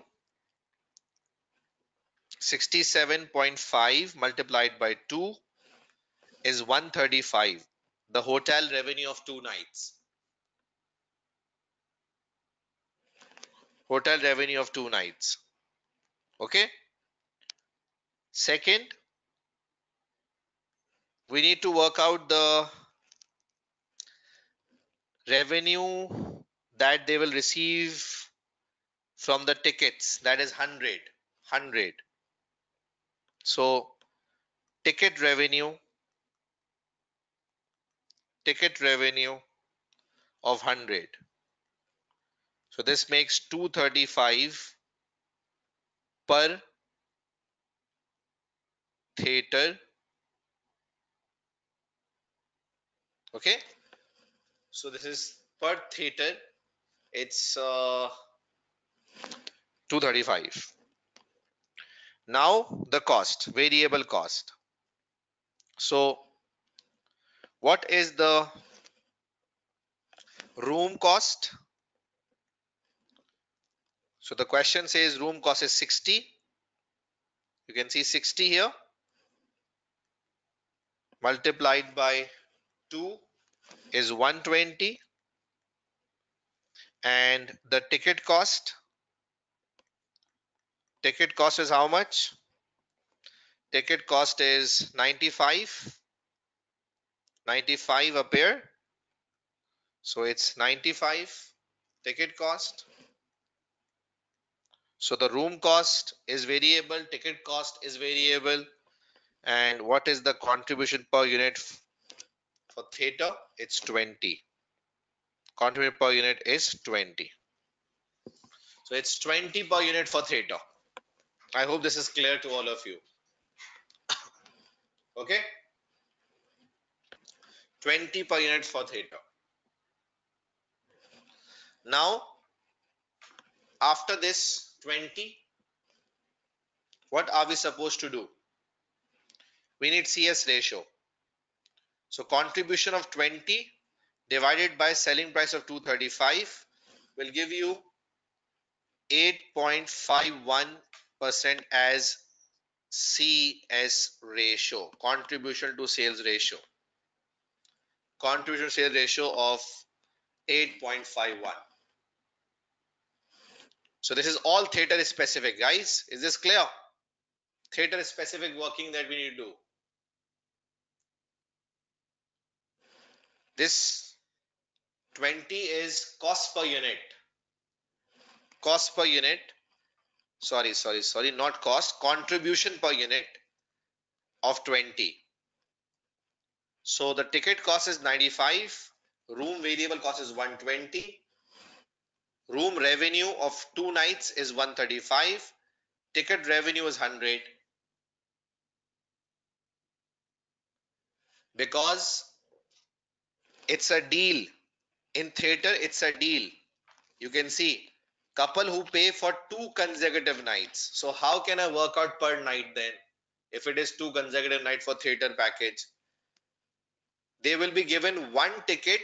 They will be given one ticket when they pay for two consecutive nights okay so contribution per ticket is worked out now I'll divide this with CS ratio of 8.51% and I will get break even answer of $235,000. This is break even in revenue, $235,000. Okay. So Parvez, I, I, I think this is clear. Calculation of two nights is just because that one ticket, if you need, you need to pay for two consecutive nights. That's why two for theater package. So it's break even of 235,000 and uh, this is what I need to work for for two nights. So this is the contribution and break even answer for theater project. Clear everyone? Are you all with me? Now the explanation part that will give you 2.5 marks as 1.5 marks are for this one and 2.5 marks will get uh, for the second one.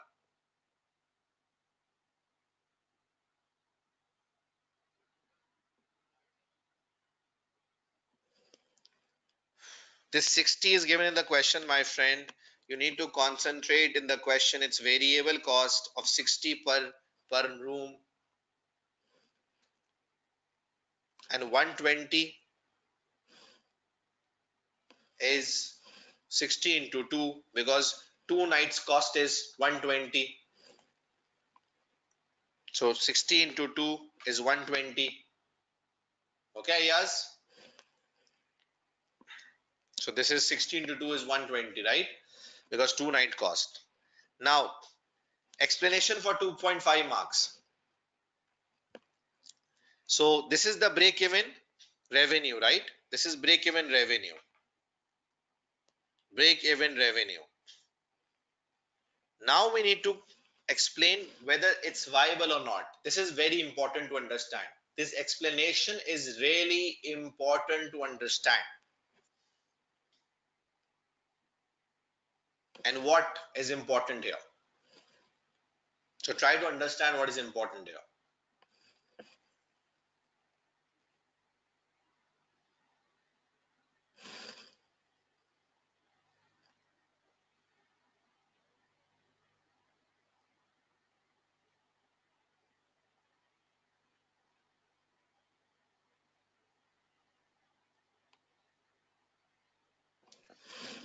So this only relates to quarter one, right?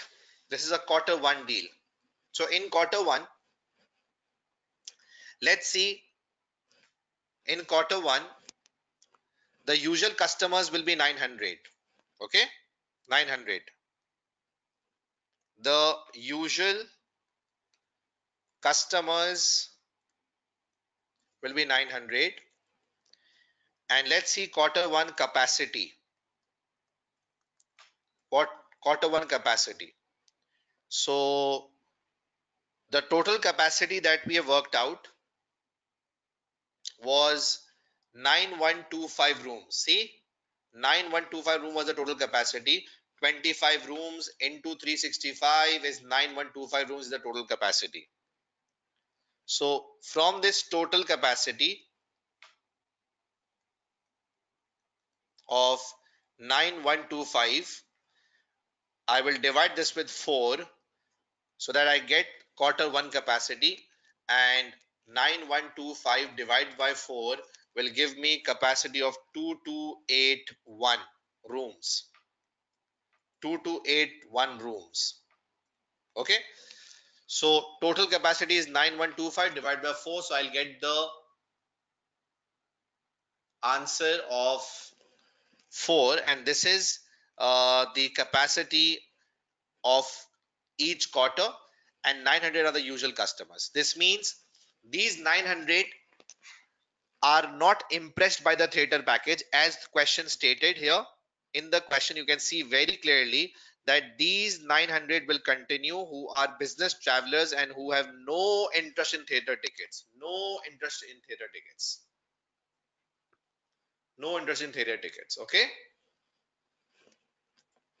So friends, if they have no interest in theater tickets, so these are the normal customers. Now, how much rooms will be available for theater customers?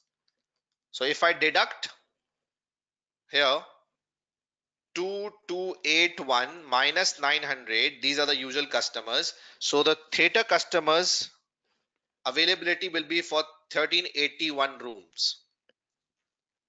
1381 rooms will be available for theater customers.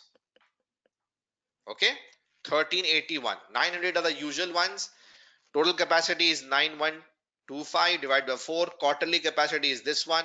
From the quarterly capacity, I deducted the 900 usual customers that will continue to come My friend, we are working for quarter one. I'm talking about the total capacity. And that 70% related to the current 70% capacity. We are assessing this project option of theater one. Please just focus. Okay.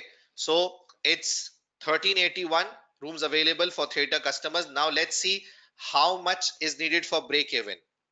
So the break even revenue that we have worked out is dollar 235,000, right? Break even is 235,000 in terms of dollars. And if I need break even in terms of rooms, if I need break even in terms of rooms, so what I'll be doing here is I'll use this 20,000 fixed cost and we'll divide this with contribution per unit so that is 20. Contribution per unit of 20.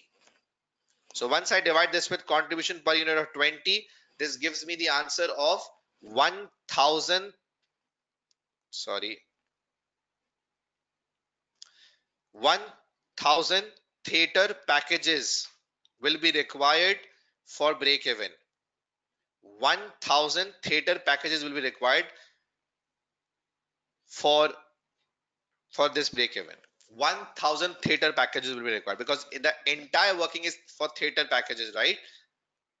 So this is also theater packages. This is break even revenue of 235000 for theater packages. Okay? So 1000 theater packages will be required. And each theater package listen very carefully and each theater package means two nights will be required. Two nights will be required. Because the question stated that for each theater package couple who have to pay two consecutive nights which means two nights will be required for each theater package. So if 1000 theater packages are required for the break even into two means 2000 rooms will be required for break even this is break even this is break even of theater packages. Are you getting the point? and each theater package requires two nights. So this means 2000 rooms will be required for break even are you all getting how technical the question is? The working that we have done here relates to theater packages only. Now, how many rooms are available? How many rooms are available? 1381. And how many are required for break even? 2000. So, not viable. So, not viable because 2000 required for break even in terms of rooms. And available rooms are available rooms are how many guys? Available rooms are how many? 1381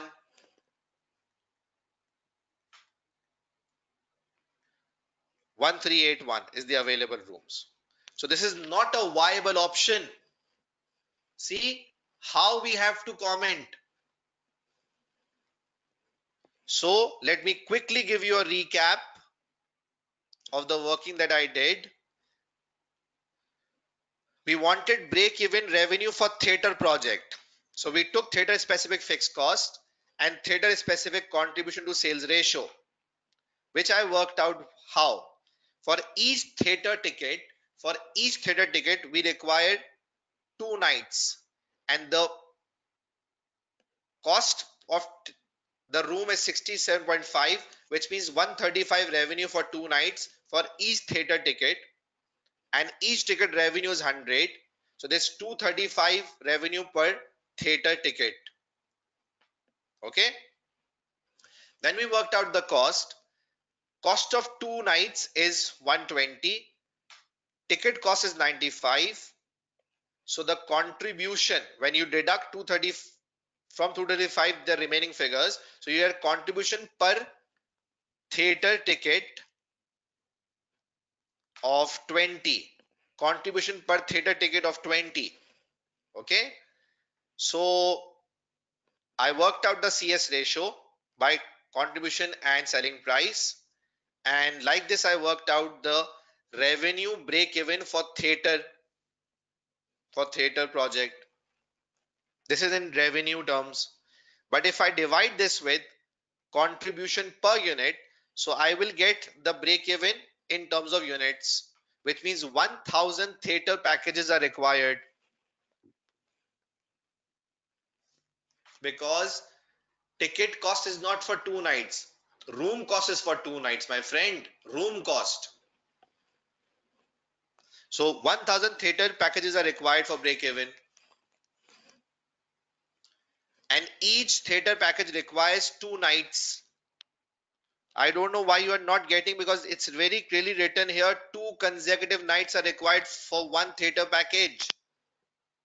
For one theater package. Okay so 2000 theater packages are required for break even and one package requires two nights which means 2000 rooms will be required for break even now how many we have? So the quarterly capacity of the room is 2281 from this total capacity i deducted sorry i divide this with 4 for each quarter and 9900 are the usual customers so 1381 rooms are available and break even is at 2000 so if break even is at 2000 and we just have 1381 available, so it's not viable to invest. It's not viable to invest. Okay. True. So this is what you have to comment in a paragraph form for 2.5 marks. 2.5 marks. Yasir Khan, is this clear? Each theater package requires two nights. Okay, so 2.5 hours. Are you all with me, guys? Come on, tell me. Is this clear to all of you?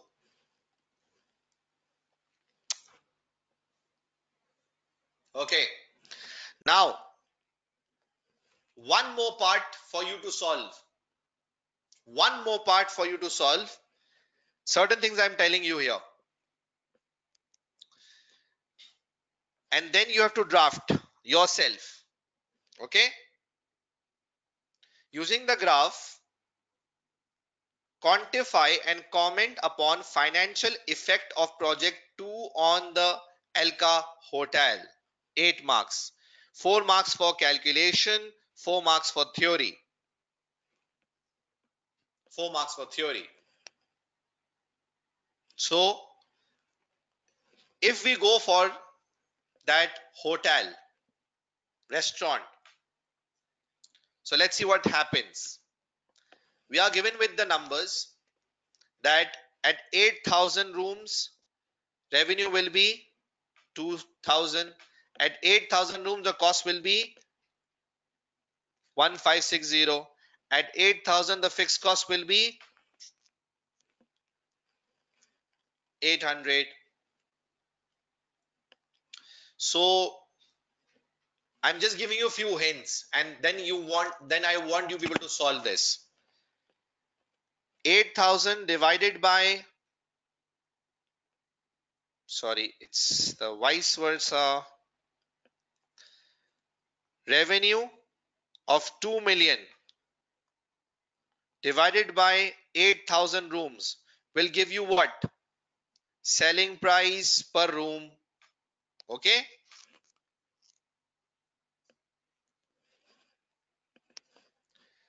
Now,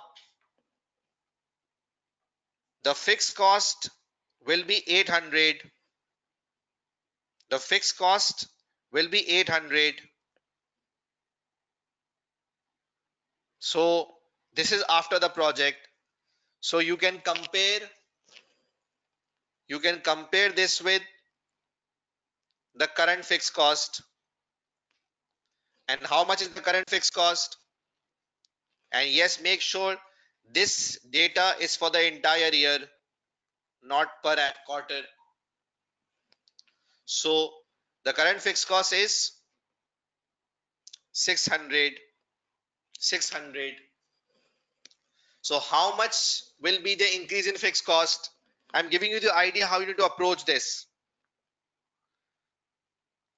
Is 600. So you can compare and see the fixed cost will increase by how much 200 because of the hotel your restaurant project okay so you can work out the current selling price. You can compare with the current selling. You can work out this new selling price with the current selling price. You can compare. You can compare the new fixed cost with the current fixed cost. And like this you have to comment. So using the graph, quantify and comment upon financial effect of project 2 on Alka Hotel. You solve this from homework. I've given you just a quick idea what you need to do.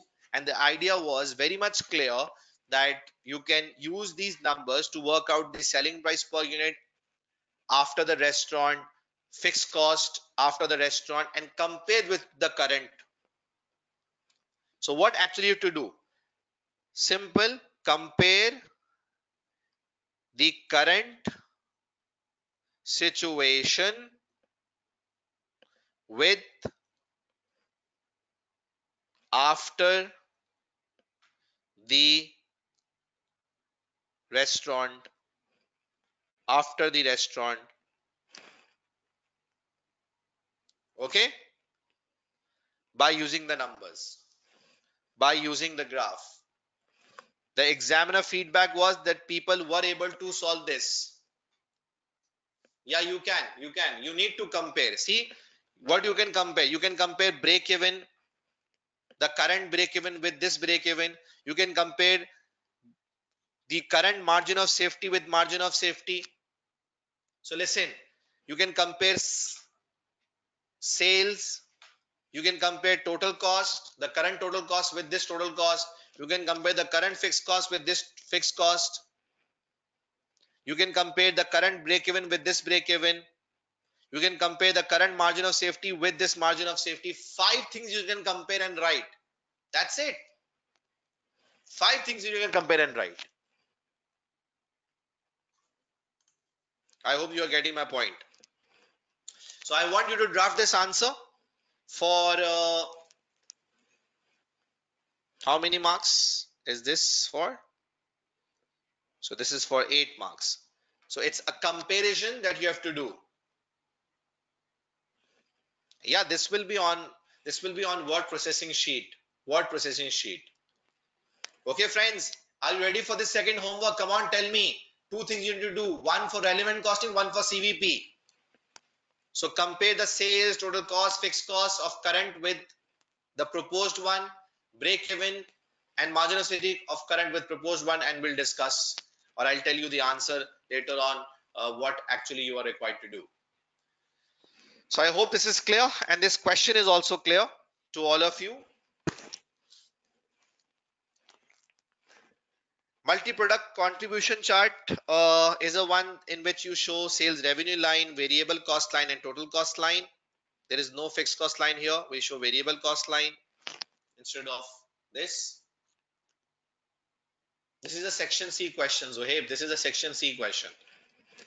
Multi-product profit volume chart shows you the profit and loss line in which we make two lines highest CS ratio line and constant mix line. Right now the graph I just saw was the break-even graph. So I hope this is clear. Now moving towards the next area of risk and uncertainty. So very quickly, risky situation is a one in which you have probabilities. Uncertain situation is a one in which you do not have probabilities. Do not have probability. Okay. There are four decision maker. Risk seeker is a one who wants to take high risk. High risk. Risk averse takes very low risk. Actually, he tries to avoid risk and takes very low risk. Risk neutral goes for the most likely result. Most likely result. And sore loser takes decision on the basis of future regrets. Takes decision on the basis of future regrets okay? So risk averse decision maker uses expected value. Sorry risk neutral decision maker uses expected value. Risk seeker uses maximax technique.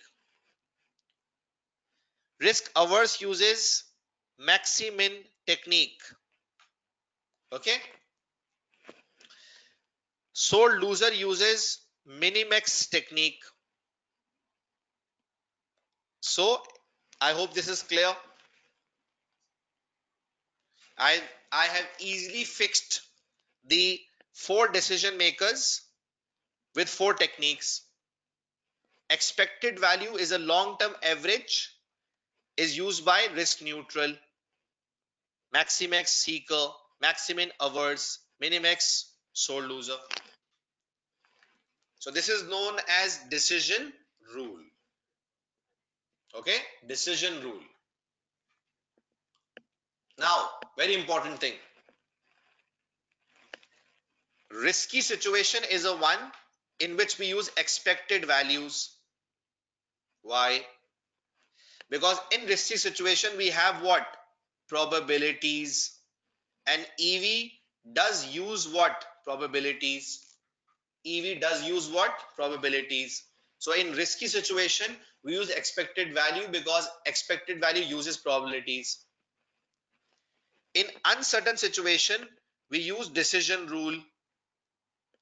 In uncertain situation, we use what guys? Decision rule. Because in decision rule, there are no probabilities. So Maximax does not use probability, Maximin does not use probability, Minimax regret rule does not use probability. Okay. So let's sum up. In risky situation, we use expected value. See, it's I'm making this very simple summarized for you. Listen. In risky situation, we use expected value and expected value is used by Come on, tell me. Risk neutral. See, risk neutral. In uncertain situation, we use decision rule. Decision rule. Okay. Decision rule number one. Decision rule number one. Maximax used by risk seeker. Decision rule number two, maximin used by risk averse. Decision rule number three, minimax regret rule used by sore loser. What a summary! What a summary!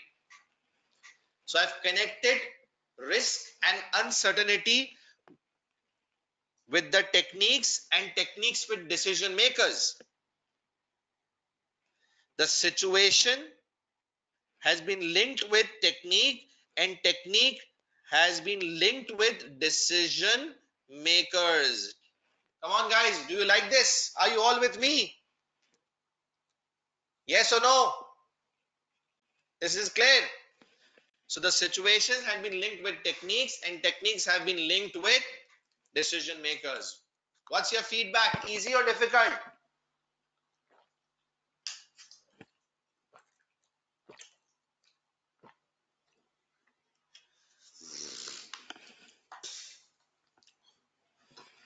Okay, now let's move towards another question.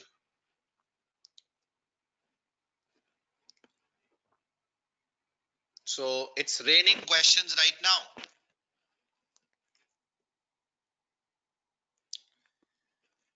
Let's start with this question.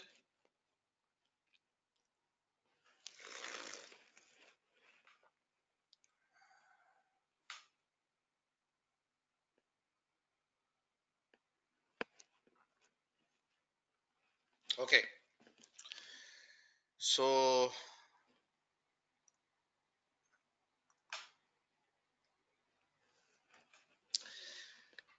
Milo runs a cafeteria situated on the ground floor of a large corporate office block.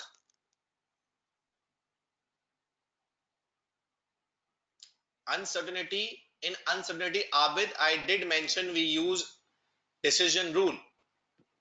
And decision rule means maximax, maximin, minimax regret rule. Because in uncertainty, you don't have probabilities. And these techniques do not use probabilities that you will see right now. So each of the five floors of the building are occupied and there are in total 1240 employees. This is an empty MTQ. Milo sells lunches and snacks in the cafeteria. Okay.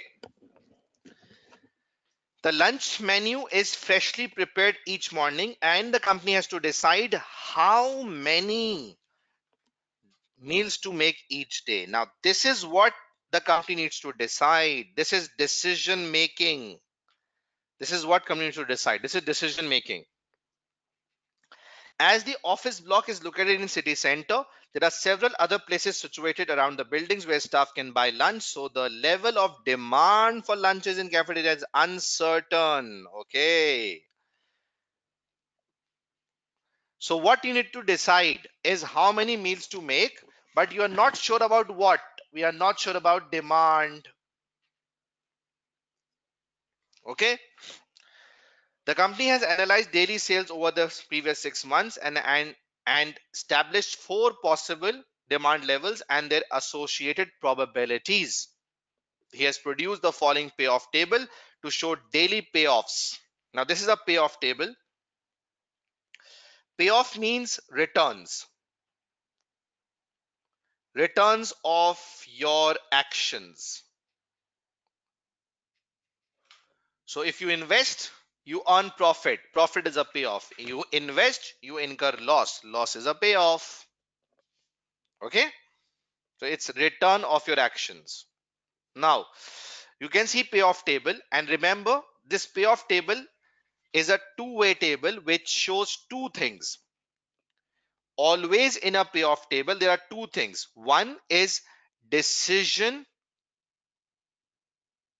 alternative. And second is state of nature. You are even required sometimes in the examination to prepare this payoff table. So that is why i'm telling you a payoff table is a one in which you have decision alternatives and you have state of nature. Decision alternatives and state of nature.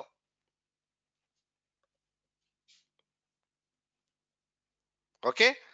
So do keep this in your mind. This is a million dollar point. Something that is in the control of a decision maker. Something that is carefully listen what i'm saying. Something which is in the control of a decision maker is decision alternative.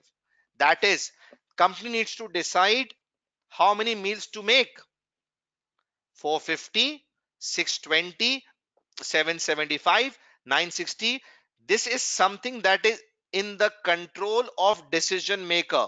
So something which is in the control of decision maker is what? Decision alternative understand? So whenever you read a question and you are not sure what is decision alternative just think in the question that is this in the control of the decision maker? And if you say yes so this is decision alternative. Second something which is not in the control of the decision maker is state of nature and that is demand. You cannot control demand cannot control demand. So something which is not in the control of the decision maker is what friends? Decision sorry state of nature. And another shortcut to find out what is state of nature in the paper. Another million dollar shortcut. Are you ready for this million dollar shortcut guys? Tell me. Another million dollar shortcut is what? When when probabilities are attached so it's very much likely that probabilities are attached with with what? With state of nature. Probabilities are attached with state of nature. Okay? So you can see probabilities are attached with state of nature. So these demand is state of nature it's not compulsory that it is on x-axis or y-axis it could be anyways. So something that is in your control is what friends? Is what? Come on tell me. Is decision alternative? Something which is not in your control is what? State of nature. And which state of nature? Usually you will see what? You are not replying my friends. With state of nature? You will see what? You will see probabilities being attached so in short when in the paper you are required to make a payoff table just keep this in mind and find what is in the control of the decision maker. That is DA something which is not in the control of decision maker is state of nature. And with state of nature what you will find? Tell me come on. With state of nature what you will find? You will find probabilities because you cannot control because you don't know what will happen that is why you have probabilities that is why you have probabilities because you cannot control. So this is a payoff table where you can see daily payoffs. Payoffs, I, as I mentioned, payoff could be what? Payoff could be profit, loss, whatever it is. So these are basically the payoffs, which is which is the profits actually the company will earn. So is this clear about DA and SON, everyone? Now, if Milo adopts a maxi-min approach to decision making, which daily supply level will be will he choose? No, Majid, this is the trick, my friend. It is really important to find out because that is demand. And when you want to match the demand, so you keep your supply according to demand. Okay. yeah you are right but uh, Rabia is it's it is basically uh, in general if you see risk and uncertainty is used in general terms they do have a specific meaning here so here it is written above it it it, it is written uncertain though that is not that means generally it is written okay? So specific definitions are risk and uncertainty with and without probabilities. So above it is written generally okay? Now maxi maxi min approach. So see maxi min maximum from minimum what this means? This means from minimum payoffs. From minimum payoffs. Select. Select maximum. Are you getting my point? From minimum payoffs.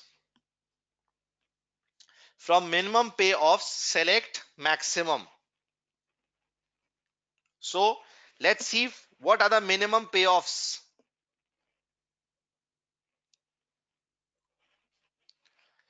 So what is decision alternative? Either we'll make 450 supplies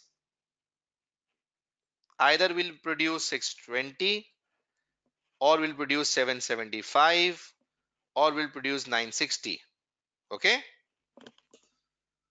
So in 450 what is the minimum 1170 in 620 what is the minimum? 980 in 775 what is the minimum? 810 in 960 what is the minimum? 740 so from the list of minimums we are selecting the maximum. We are selecting the maximum and that maximum answer is 908 sorry 1170 maximum so the answer is A. Now the question is why a risk averse person uses this? Why a risk averse person uses this? Because risk averse is a one who is not much very happy is not very much happy to take risk he tends to go for a very low risk option and he is conservative by nature. What is he? He is conservative by nature. Conservative by nature. So person who is conservative always thinks about worst options. That is, it, he says, if I produces 450, so the worst outcome would be it's same right now if I produce 620, the worst outcome would be 980. If I produce 775, so the worst outcome would be 810. If I produce uh, what you call 600 and 960, so the worst outcome would be 740. So averse is a conservative person who always considers the worst outcomes and from those worst outcomes he says go for the best one. So that is why from the minimum payoffs minimum payoffs we are selecting the maximum. Because risk averse is a person who uses negative mindset who is negative by nature and who always says okay i will go for the lowest option as he thinks negatively. So from the list of negatives, he will select the maximum. I hope this is clear and this connection is also clear. This understanding is also clear. Yes, what you say? Yes or no? Is this okay, everyone? Then comes minimax regret approach. Are you all with me? Not replying very fast.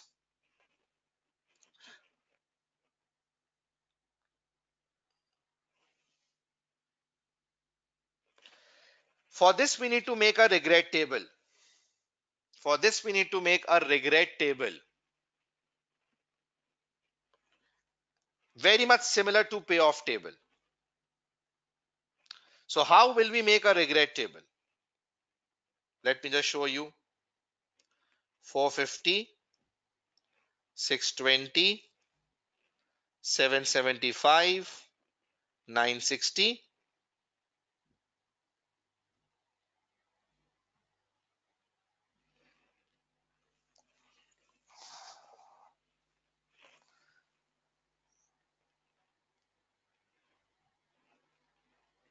again in demand what options we have? 450 620 775 960 I'm short of space here. I hope you will manage. Okay? Now when you make a regret table what we do we work out the future regrets. How do we work out future regrets is a question. How do we work out future regrets is a big question. It's simple. It's pretty much simple. Let's assume if the demand comes out to be 450 in the future, if it's if, okay, if the demand comes out to be 450 in the future, tell me which DA will provide you the highest profit. It's 1170. If the demand in future works out to be 450, so the highest option is 1170. Okay. Now, if you select this highest 1170 and this is the highest, so will you have any future regret by selecting 450 today? No. You will have no regrets for selecting 450 today because 450 is the highest and you selected the highest there will be no regret okay Secondly,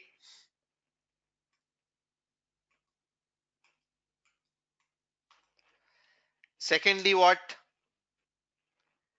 Now, if you select 620 and the highest is 1170 as I mentioned here and if you select 620 so how much will you earn 980 so how much will be your regret in that case? You will have a regret of 190 and you will say yourself, oh, what I have done. If I would have selected 1170, so I would would not have regretted today by the amount of 190 because this this 980 is less than 1170 and like this you work out the regrets for all other options. The highest is 1170 and if you opted for this 810 so the regret would have been how much? 360 are you all getting? If highest is 1170 and if you have gone for this 740 option so your regret would have been 430 you are working out future future regrets. And like this you have to do for others as well. Now if you assume that if the demand is 4 if the demand in future is 620 so in 620 what is the highest here? It's 1612 and in the same way you start deducting. So the highest is 1612 and you if you went for this 1170 so the regret in that case would have been how much guys? Are you all with me? 442 second case it's zero because you've selected 1612 in third case what's the regret? 217 in fourth case it's 322 are you all with me? If you then if you just assume that if the demand is 775 so where is the highest here so start deducting one by one from this highest. So the regret in first case would be 2015 minus 1170 and the regret is 1326. Second, it's 884. Third, it's 0. Fourth, it's 230. And for the last one, the highest is this amount. So the regret is 8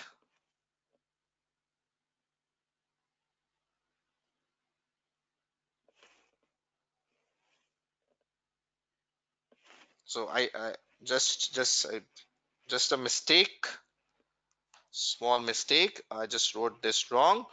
Uh, for 775 it's 845 okay? It's 845 regret. Yeah it's 845 regret and it's 403 it's 403 okay? 845 403 then it's 0 and then at the last it's 230 for the last one it's 13 26 regret 8 8 4 regret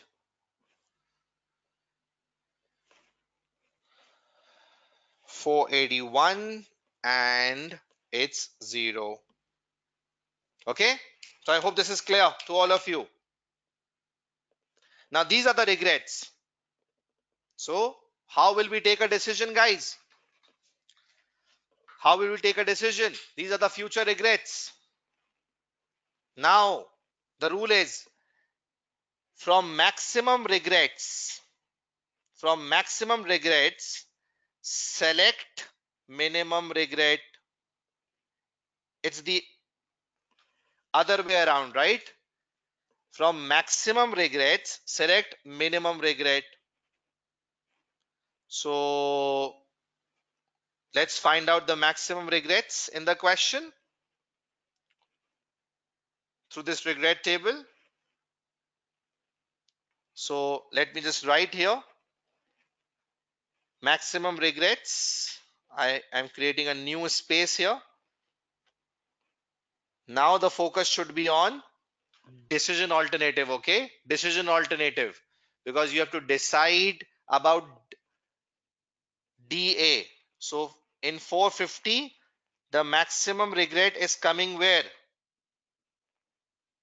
The maximum regret is coming where?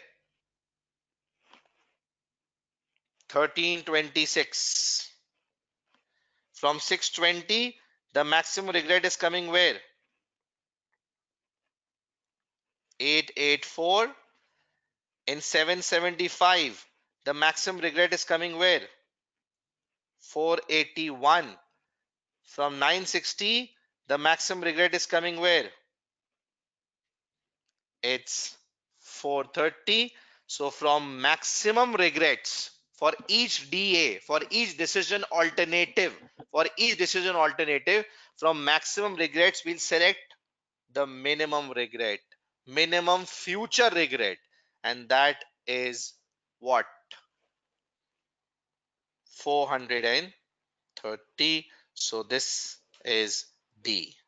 Which decision maker uses this? Is sore loser who decides on the basis of future regret.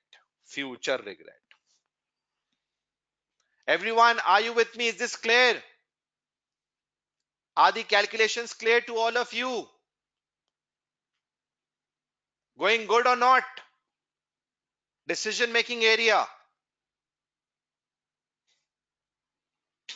Okay. Now, which of the following statement is or are true if company chooses to use expected value to assist in his decision making regarding the number of lunches to be provided? Milo could be considered to be taking a defensive and a conservative approach to his decision. So is this true or false? This is false because expected value is used by risk neutral.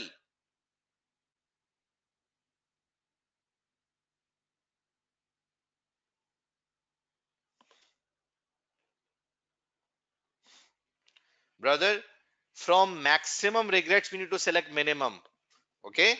From maximum regrets. From maximum regrets. So that's why i just made a list here if you just see. These are maximum regrets. From that i need to select the minimum one okay? Shanze is this clear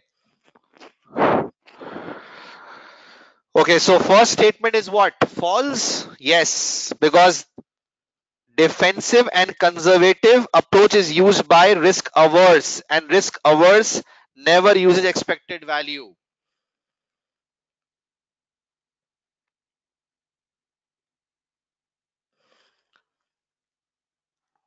Is this clear to all of you? Hello, everyone.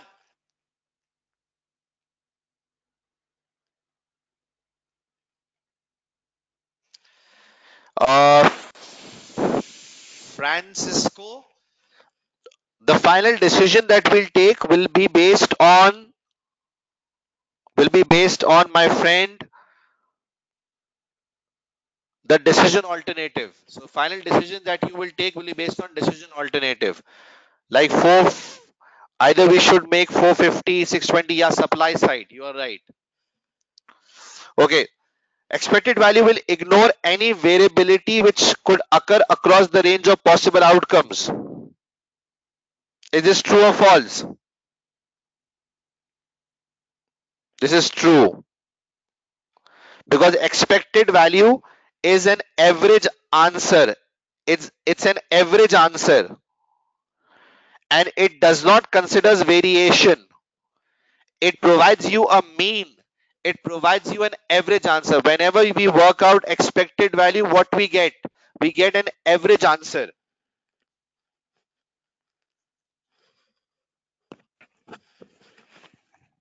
We get an average answer. Okay, so it ignores variability. Expected value will not take into account the likelihood of different outcomes occurring. Is this true or false? This is false because it does considers the likelihood of different outcomes occurring by using probabilities. It's false. Are you all getting my point?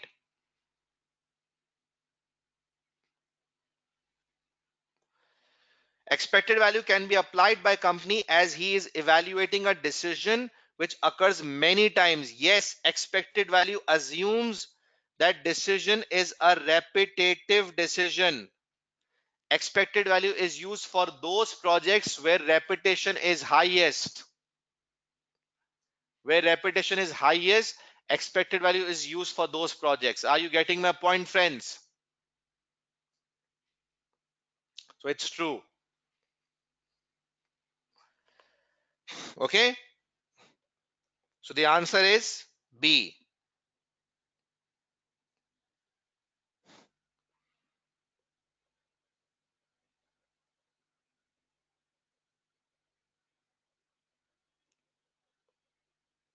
Now, now I'm coming towards this question. As I mentioned in my presentation, these three the techniques used by different decision makers. And expected value is used by risk neutral. The other techniques include sensitivity analysis, decision trees, simulation. Decision tree is used for making multiple decisions at a same time. Multiple decisions at the same time, we use decision trees. What is sensitivity? Sensitivity identifies the most critical variable. Identifies the most critical variable.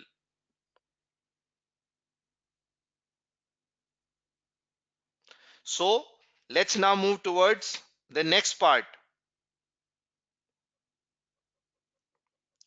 Which of the following statements are true regarding sensitivity of the investment? Now listen, whenever you need to find out sensitivity, So the formula is very simple. Profit divide by the variable. Profit divide by the variable.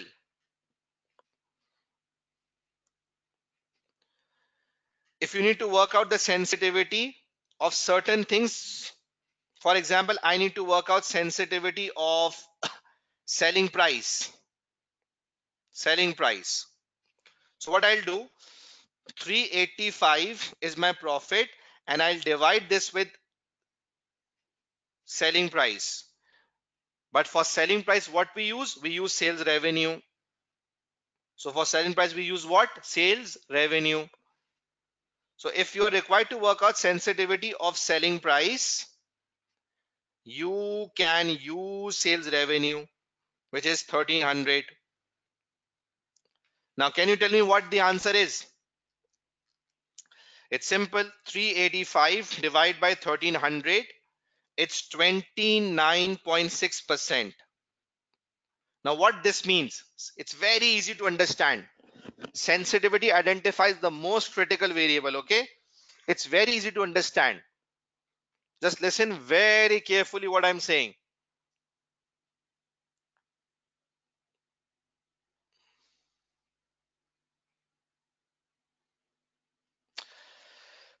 That if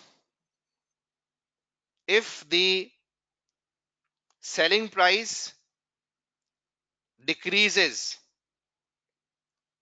if the selling price decreases by 29.6 percent so if the selling price decreases by 29.6 percent just imagine if the revenue decreases by 29.6 percent so how much amount will be that. So if you work out 1300 multiplied by 29.6% and the answer would again be 385. obviously, obviously 385. So if your revenue goes down by 29.6%, this means it reduces by 385. Okay, see, if it reduces by 385, and all other remain constant all other remain constant this is the assumption of sensitivity that all other will remain constant. So if all other remains constant and if revenue goes by down by 29.6 percent which is 385 of 1300 right? Which means your profit will also go down by 385 and will come to zero. Wow, very simple. Formula is profit divided by the variable. Variable means any variable for which you need to work out sensitivity. You use this formula. So 29.6%. If the revenue goes down by 29.6%, this is 385 if it goes down by 385 and all other things remain constant so the profit would go down by 385 and will come to zero. So our reduction in selling price by 29.6 percent will bring the profit to zero. Okay? Now let's work out for sales volume. So what are okay let's forget about sales volume. Okay let's let's forget about sales volume. Let's work out for fixed cost. Fixed cost. So what will be the formula? Very simple. Profit is 385 divided by 70 come on what is the answer? Can anyone tell me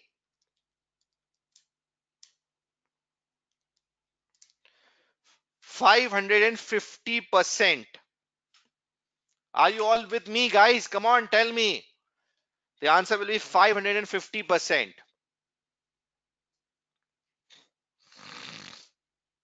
So if the fixed cost increases by 550%, because this is a cost, increase in cost will bring profit to zero. So if your fixed cost increases by 550%, how much will be that? So 70 multiplied by 550% is what? 385. So if your fixed cost increases by 550%, this means it increases by 385. And if, if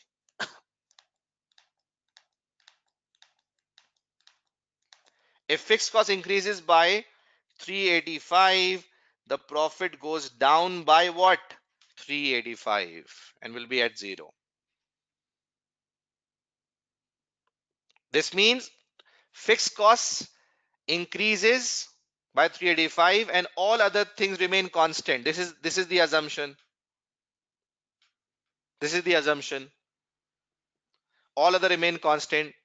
So the profit will be zero. So 550% increase in fixed cost will bring profit to zero. 29.6% decrease in revenue will bring profit to zero. Now, if I ask you to work out for contribution, what will be your answer? Can you tell me quickly? 385 divided by 455 for contribution. What is the answer, guys? The answer is 80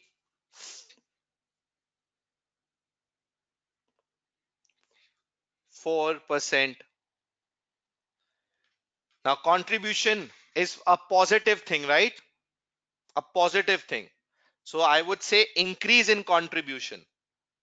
Increase in contribution will bring increase in contribution will bring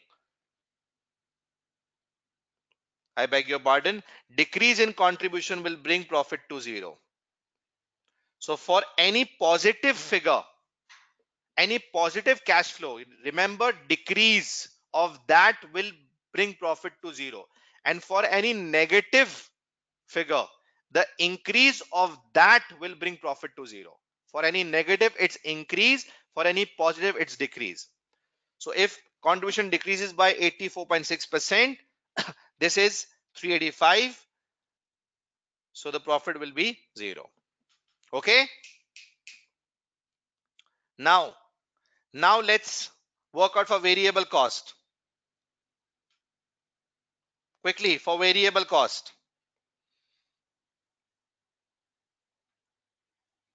385 divided by what is the variable cost?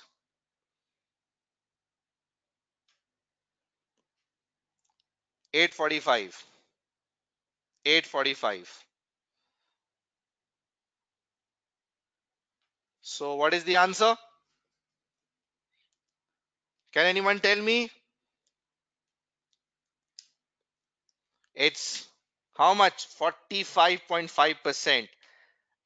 And this is a cost. So for cost, what I should write? Increase or decrease? The increase in cost will bring profit to zero. Increase. Now, out of all these, which is the most critical one? Out of all these, which is the most critical one? That has a lowest percentage lowest percentage.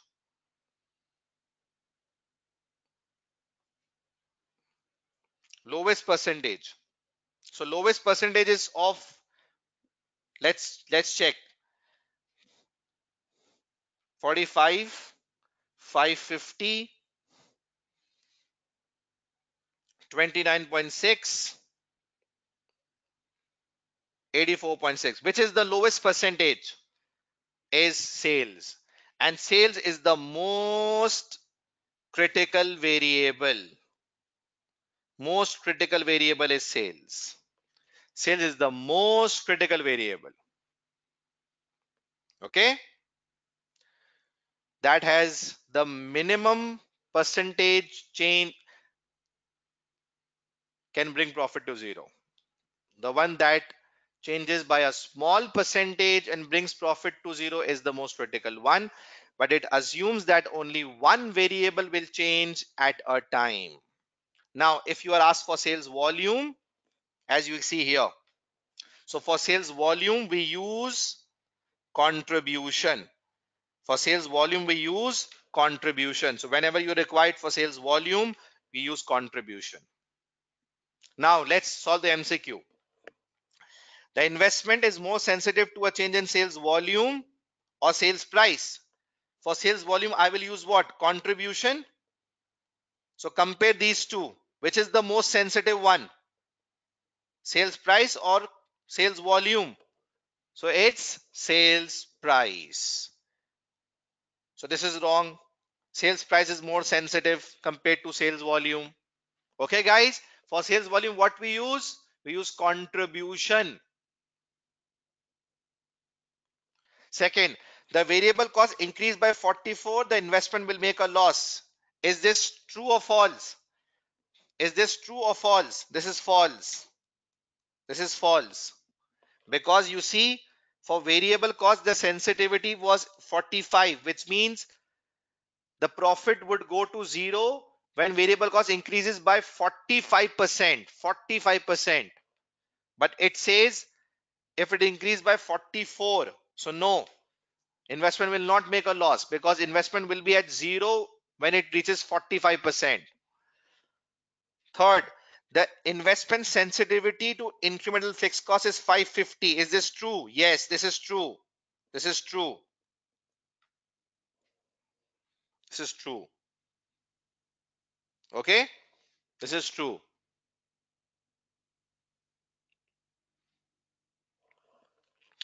And margin of safety is 84.6. So you can work out margin of safety in terms of percentage. And once you work out margin of safety in terms of percentage, this is right.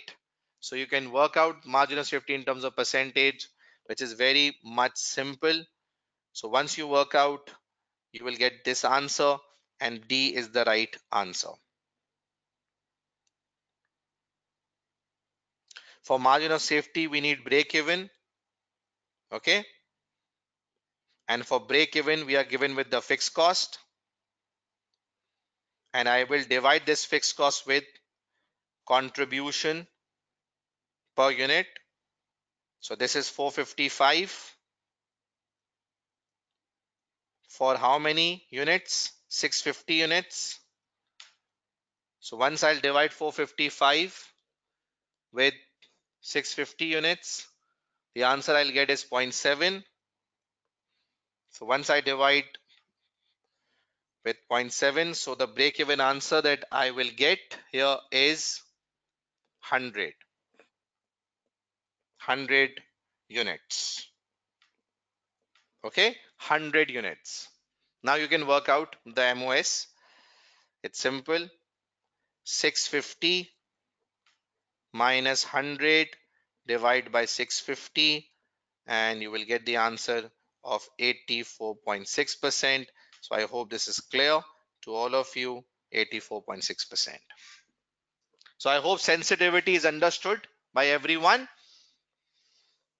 Okay.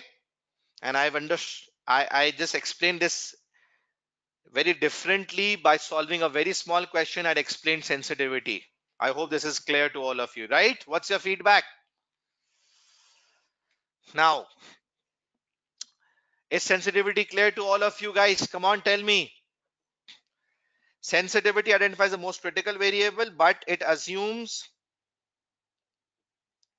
one variable will change. It assumes one variable will change, which is wrong. Which is wrong which is a very tough assumption actually. Multiple variable can change at the same time. So simulation is what? Simulation assumes that multiple variable changes will occur. Simulation assumes multiple multiple variable changes will occur.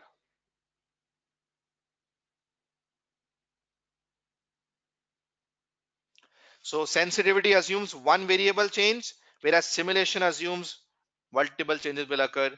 Simulation is a technique through which we consider multiple variable changes. So this is uh, the calculation part of simulation is out of our syllabus. So don't be confused about that. This is out of our syllabus so we don't have to uh, bother about that very much. And uh, you just need to be uh, relaxed as well as for simulation no practical example rabia for simulation because simulation assumes multiple variable changes. Uh, and this is uh, out of our syllabus when it comes to calculation. The theoretical thing that you need to remember is uh, this is a technique through which we assume that okay selling price will change variable cost will change fixed cost will change things will change at the same time. So this is the assumption that we take. Whereas sensitivity assumed that there will be just one change at one time. Linear programming uh, very much now will be tested in section C when the graphs will be given to you. So it is used for profit maximization and cost minimization. There are general steps, define variables, and these variables basically are your products. Objective function is based on your contribution or your cost. It all depends whether it's profit maximization or cost minimization. Constraint means limiting factors. Yes, sensitivity calculations are included and I did the calculation, Rafe. You didn't saw the previous question. I did solve the entire calculation.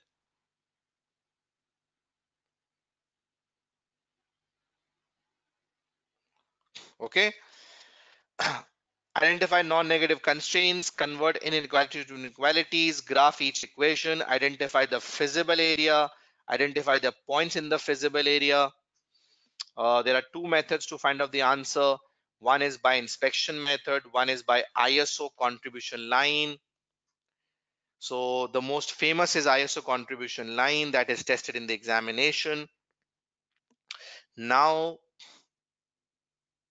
let's quickly move towards a one more question and uh, that question relates to linear programming.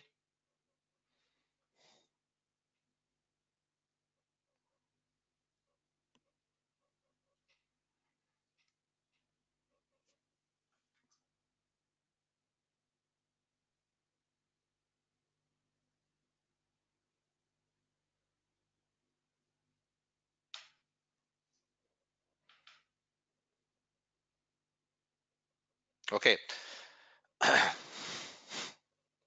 Abid solvent cost minimization is, uh, it has never been tested yet in the paper, but uh,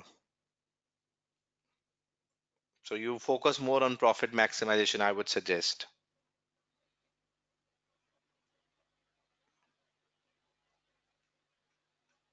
I'll over the class at 11:15 again, okay? As I need to discuss one more question. So I want you people to be with me till the end.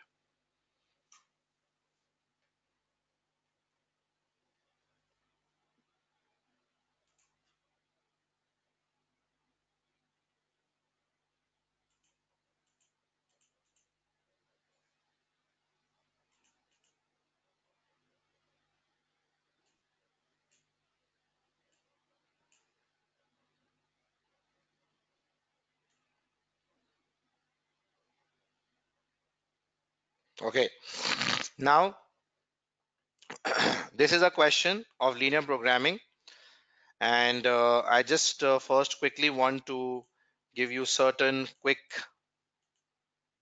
understanding based on this question.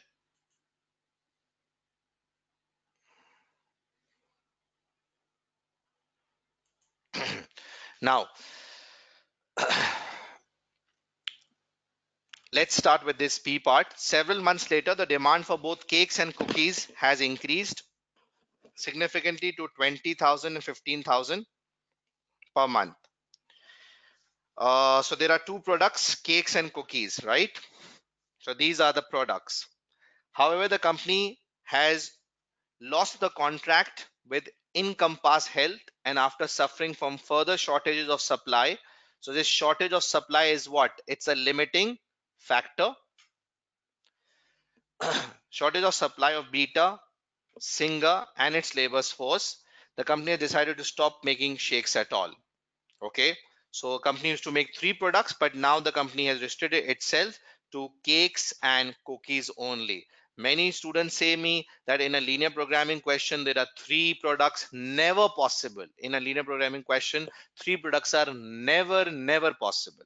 Okay so it says that uh, the variable x is being used to represent cakes and variable y represents cookies. Now this is a graph. I just quickly want to give you a quick thought about this graph. Quickly listen what i'm doing. You can see here if i just keep my steps and the graph together first we define variables. So right now the variables are cakes and cookies. One is on x-axis and one is on y-axis. We construct objective function. Objective function is basically our contribution. It represents our contribution. Okay? So you can see here contribution is given here which is 2.6 we'll earn on x plus 1.75 we'll earn on y. This is our objective function. We need the optimum answer where we need to maximize our contribution. We need to maximize our contribution which is normally the learning curve situation given in the paper. Okay? Then limiting factors limiting factors. So see singer inequality this is less than this is less than this is less than. Less than means that the maximum available you have is 12000 for singer maximum available for beta is 12500 maximum available labor hours are 3000 that's it. And these are limiting factors which are known as resource based what we call these? Tell me. Resource based what we say this? Tell me. Resource based okay? So these are resource based you see further limiting factor here these. And these are known as demand based what we call these?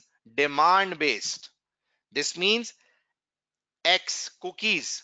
We cannot produce more than 20,000 cookies. We cannot produce and sell more than 20,000 cookies. We cannot produce and sell more than 15,000. Sorry, sorry, I beg your pardon. We cannot sell more than 20,000 cakes. We cannot sell more than 15,000 cookies. This is demand based limiting factor. Demand based means the market has restricted your demand for example uh, the market says that you cannot sell more than 20,000 or 15,000 this is a demand based limiting factor. And what is a resource based limiting factor? It is very simple that the hours available or the kgs available are restricted to a certain amount. Okay?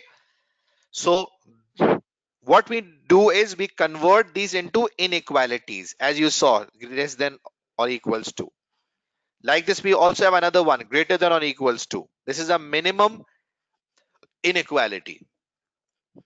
Then we have non-negative constraints. Non-negative constraints. So here you see, these are your non-negative constraints, which means your answer of cookies and cakes will never go in negative either you will produce 0 x means cakes 0 y means cookies or you will produce more than that. Because this inequality is what? Greater than. This is greater than. So this is showing you that the answer of x and y will never go in negative. And you can see the graph itself is positive base because this is origin. So either you will make zero cakes or more than zero. Either you will produce zero cookies or more than zero cookies. So this is non-negative constraint. Are you all getting my point? Okay? Then what we do? Then we graph each equation and now keeping in mind constructive response question one would say that you will not be required to make the graphs because you cannot prepare graphs on spreadsheets. So you will be provided with a graph as you can see right now. So identify the feasible area feasible region.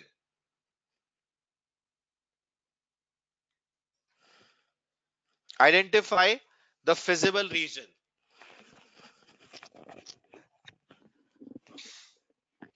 Okay so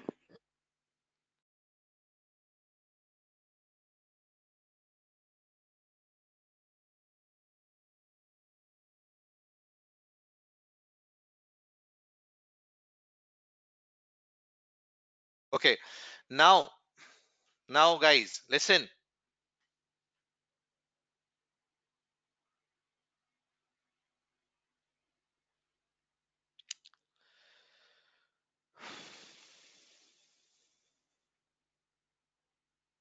So where is the feasible area? Where is the feasible area? So it's very simple. You can see this is the demand limiting factor line. This is also demand limiting factor line. This is resource limiting factor line. This is also resource limiting factor line. And this is also resource limiting factor line. Okay? Now where is the feasible area? As all the inequalities are of less than.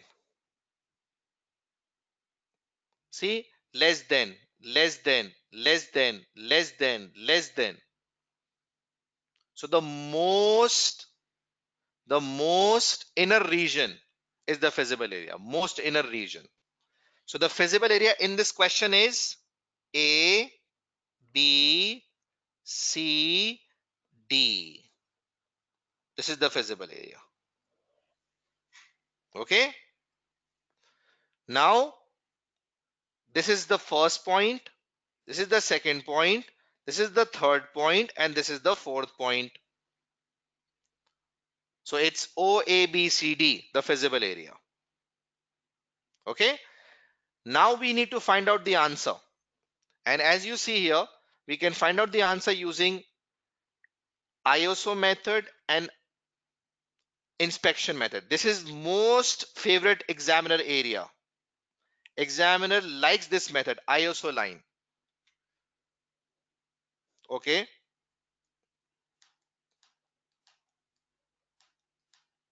feasible area I was talking about. You see all the inequalities are less than or equals to.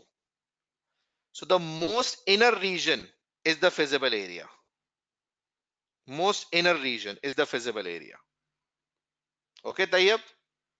Most inner region because all are less than or equals to inequality. So the shortcut is to find out feasible area quickly when there are when all the inequalities other than non-negative constraint okay when all the inequalities are less than or equals to the most inner region is the feasible area. Okay? Now now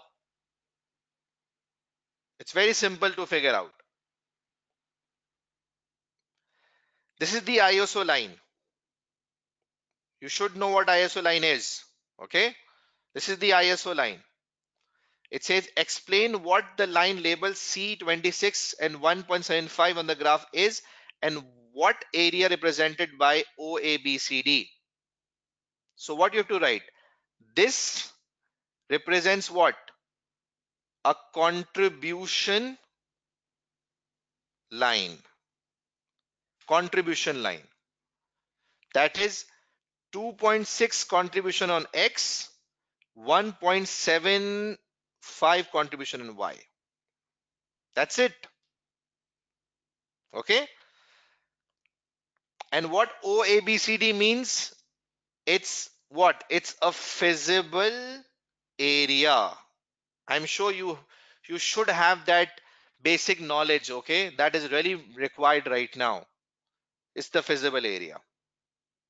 So those who have the basic knowledge will quickly understand the technique that I'll explain them.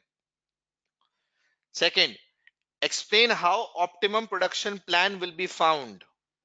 using this line and identify optimum point from the graph. Okay. Now this is ISO line. This line you see is ISO line. And through this line, we can find out the answer very easily, very easily. This is the contribution line. So how will you find out the answer? We, we will scale up this line. We will scale up this line. That is, if you see, if I start increasing this line further, just check the last point the line touches. The last point. The last point. What do you think? If I starts to increase this line in the upward direction like this, if I start to increase this line in the upward direction like this, the last point that line touches in the feasible area is the answer. Can you tell me which point you think this line will touch the last point?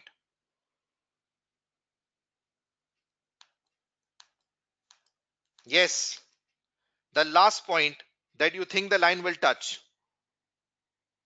So if I just try to make the line straighter, so yes, you can see the last point that the line touches will be C. C. No, it's not B, it's C. If you just increase this line in the upward direction, just, just don't change their slope. Just don't change the slope.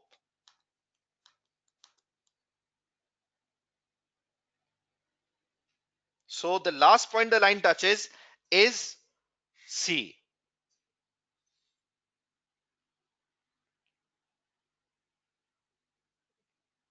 Okay.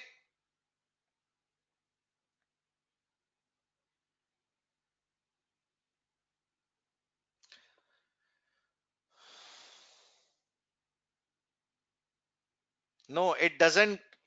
Okay, let me just tell you.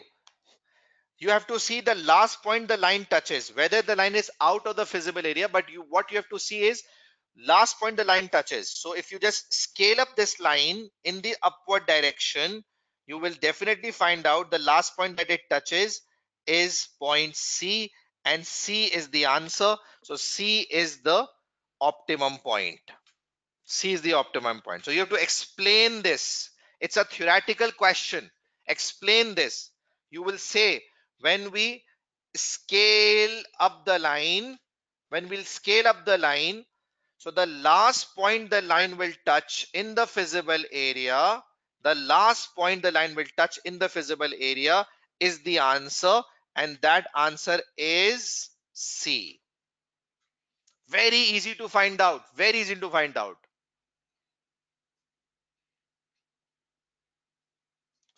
Farouk, uh, you can scale up by your hand, using your hand, using a scale. You can judge. You can just move a pen in the same direction of the line. Just move a pen just move your hand in the same direction with the line. Farooq, you can figure out that.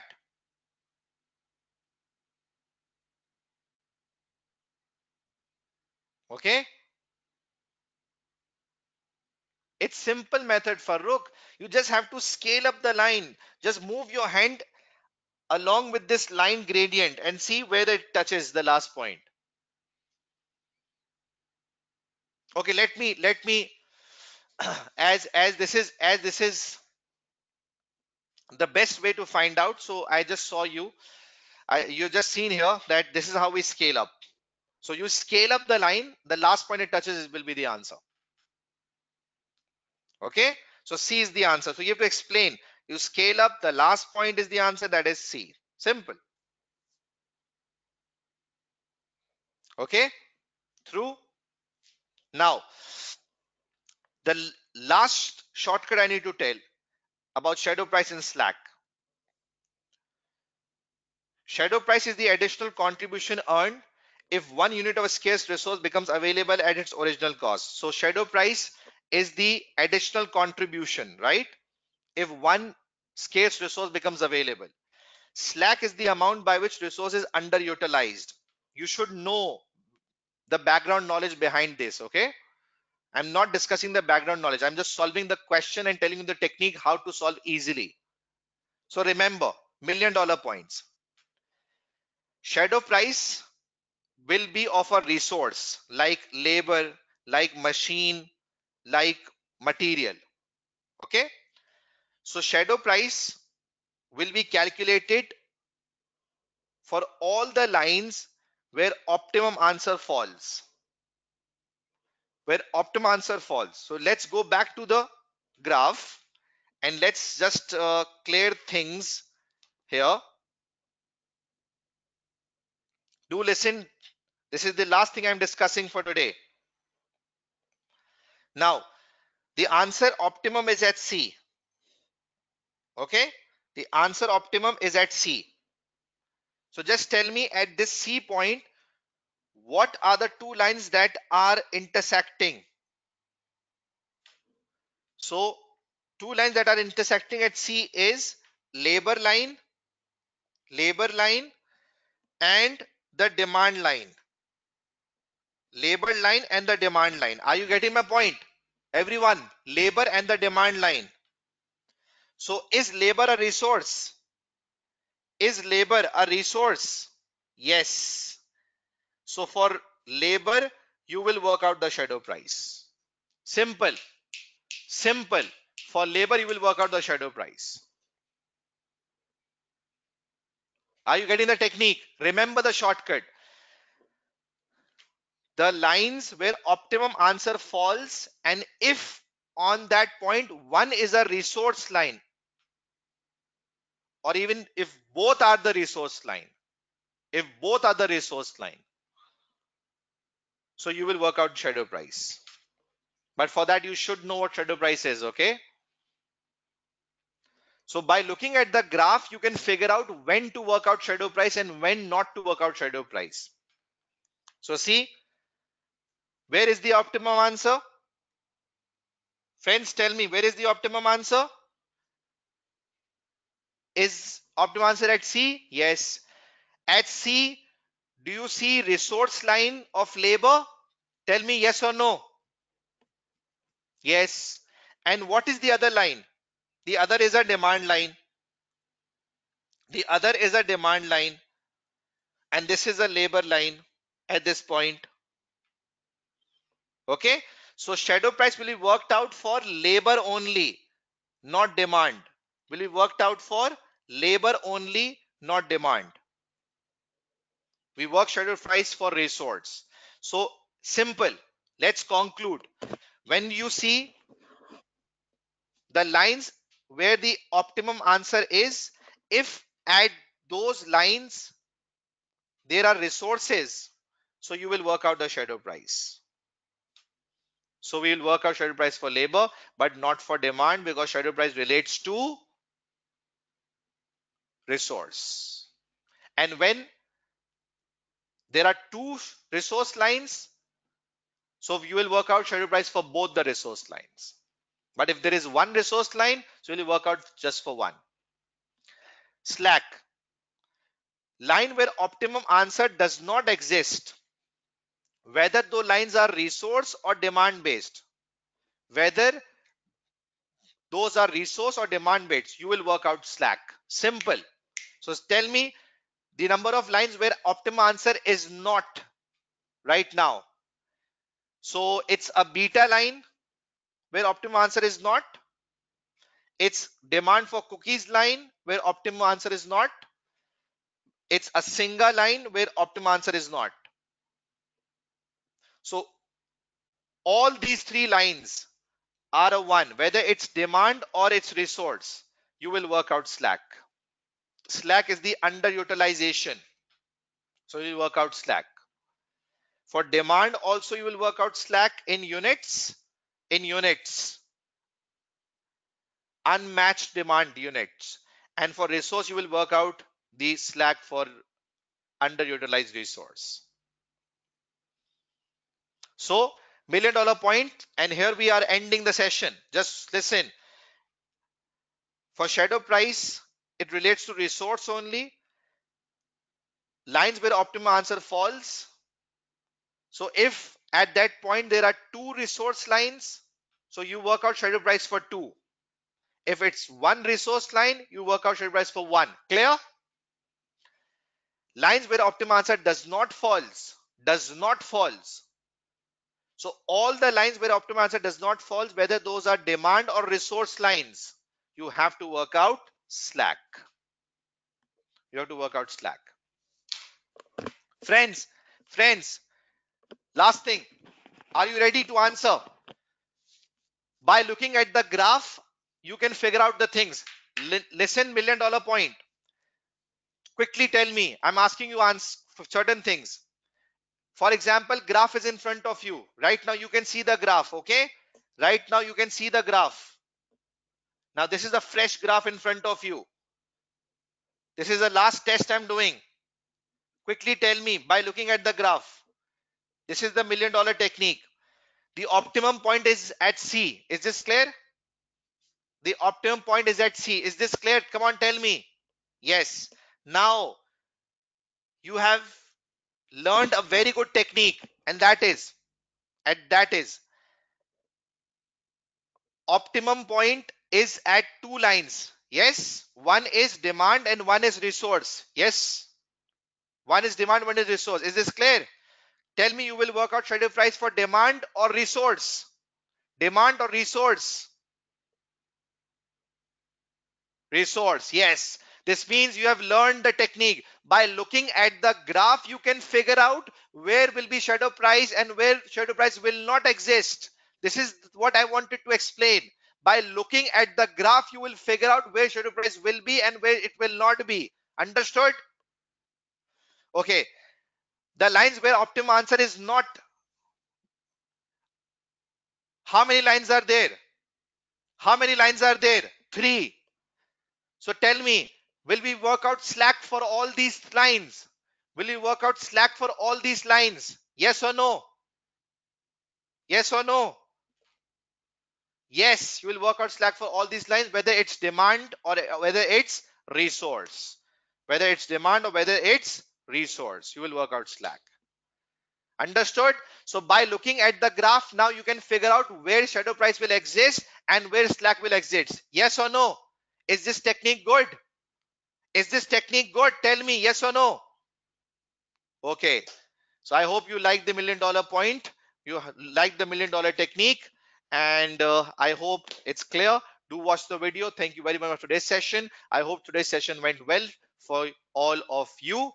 Uh, I did said when you see the lines where the optimum point doesn't falls. So on for all those lines you will work out slack. For all those lines you will work out slack. Okay? Okay thank you very much for the session. I hope you like the session. Give your feedbacks. See you tomorrow in the next session with very important area of performance measurement. Thank you very much. Take care. Bye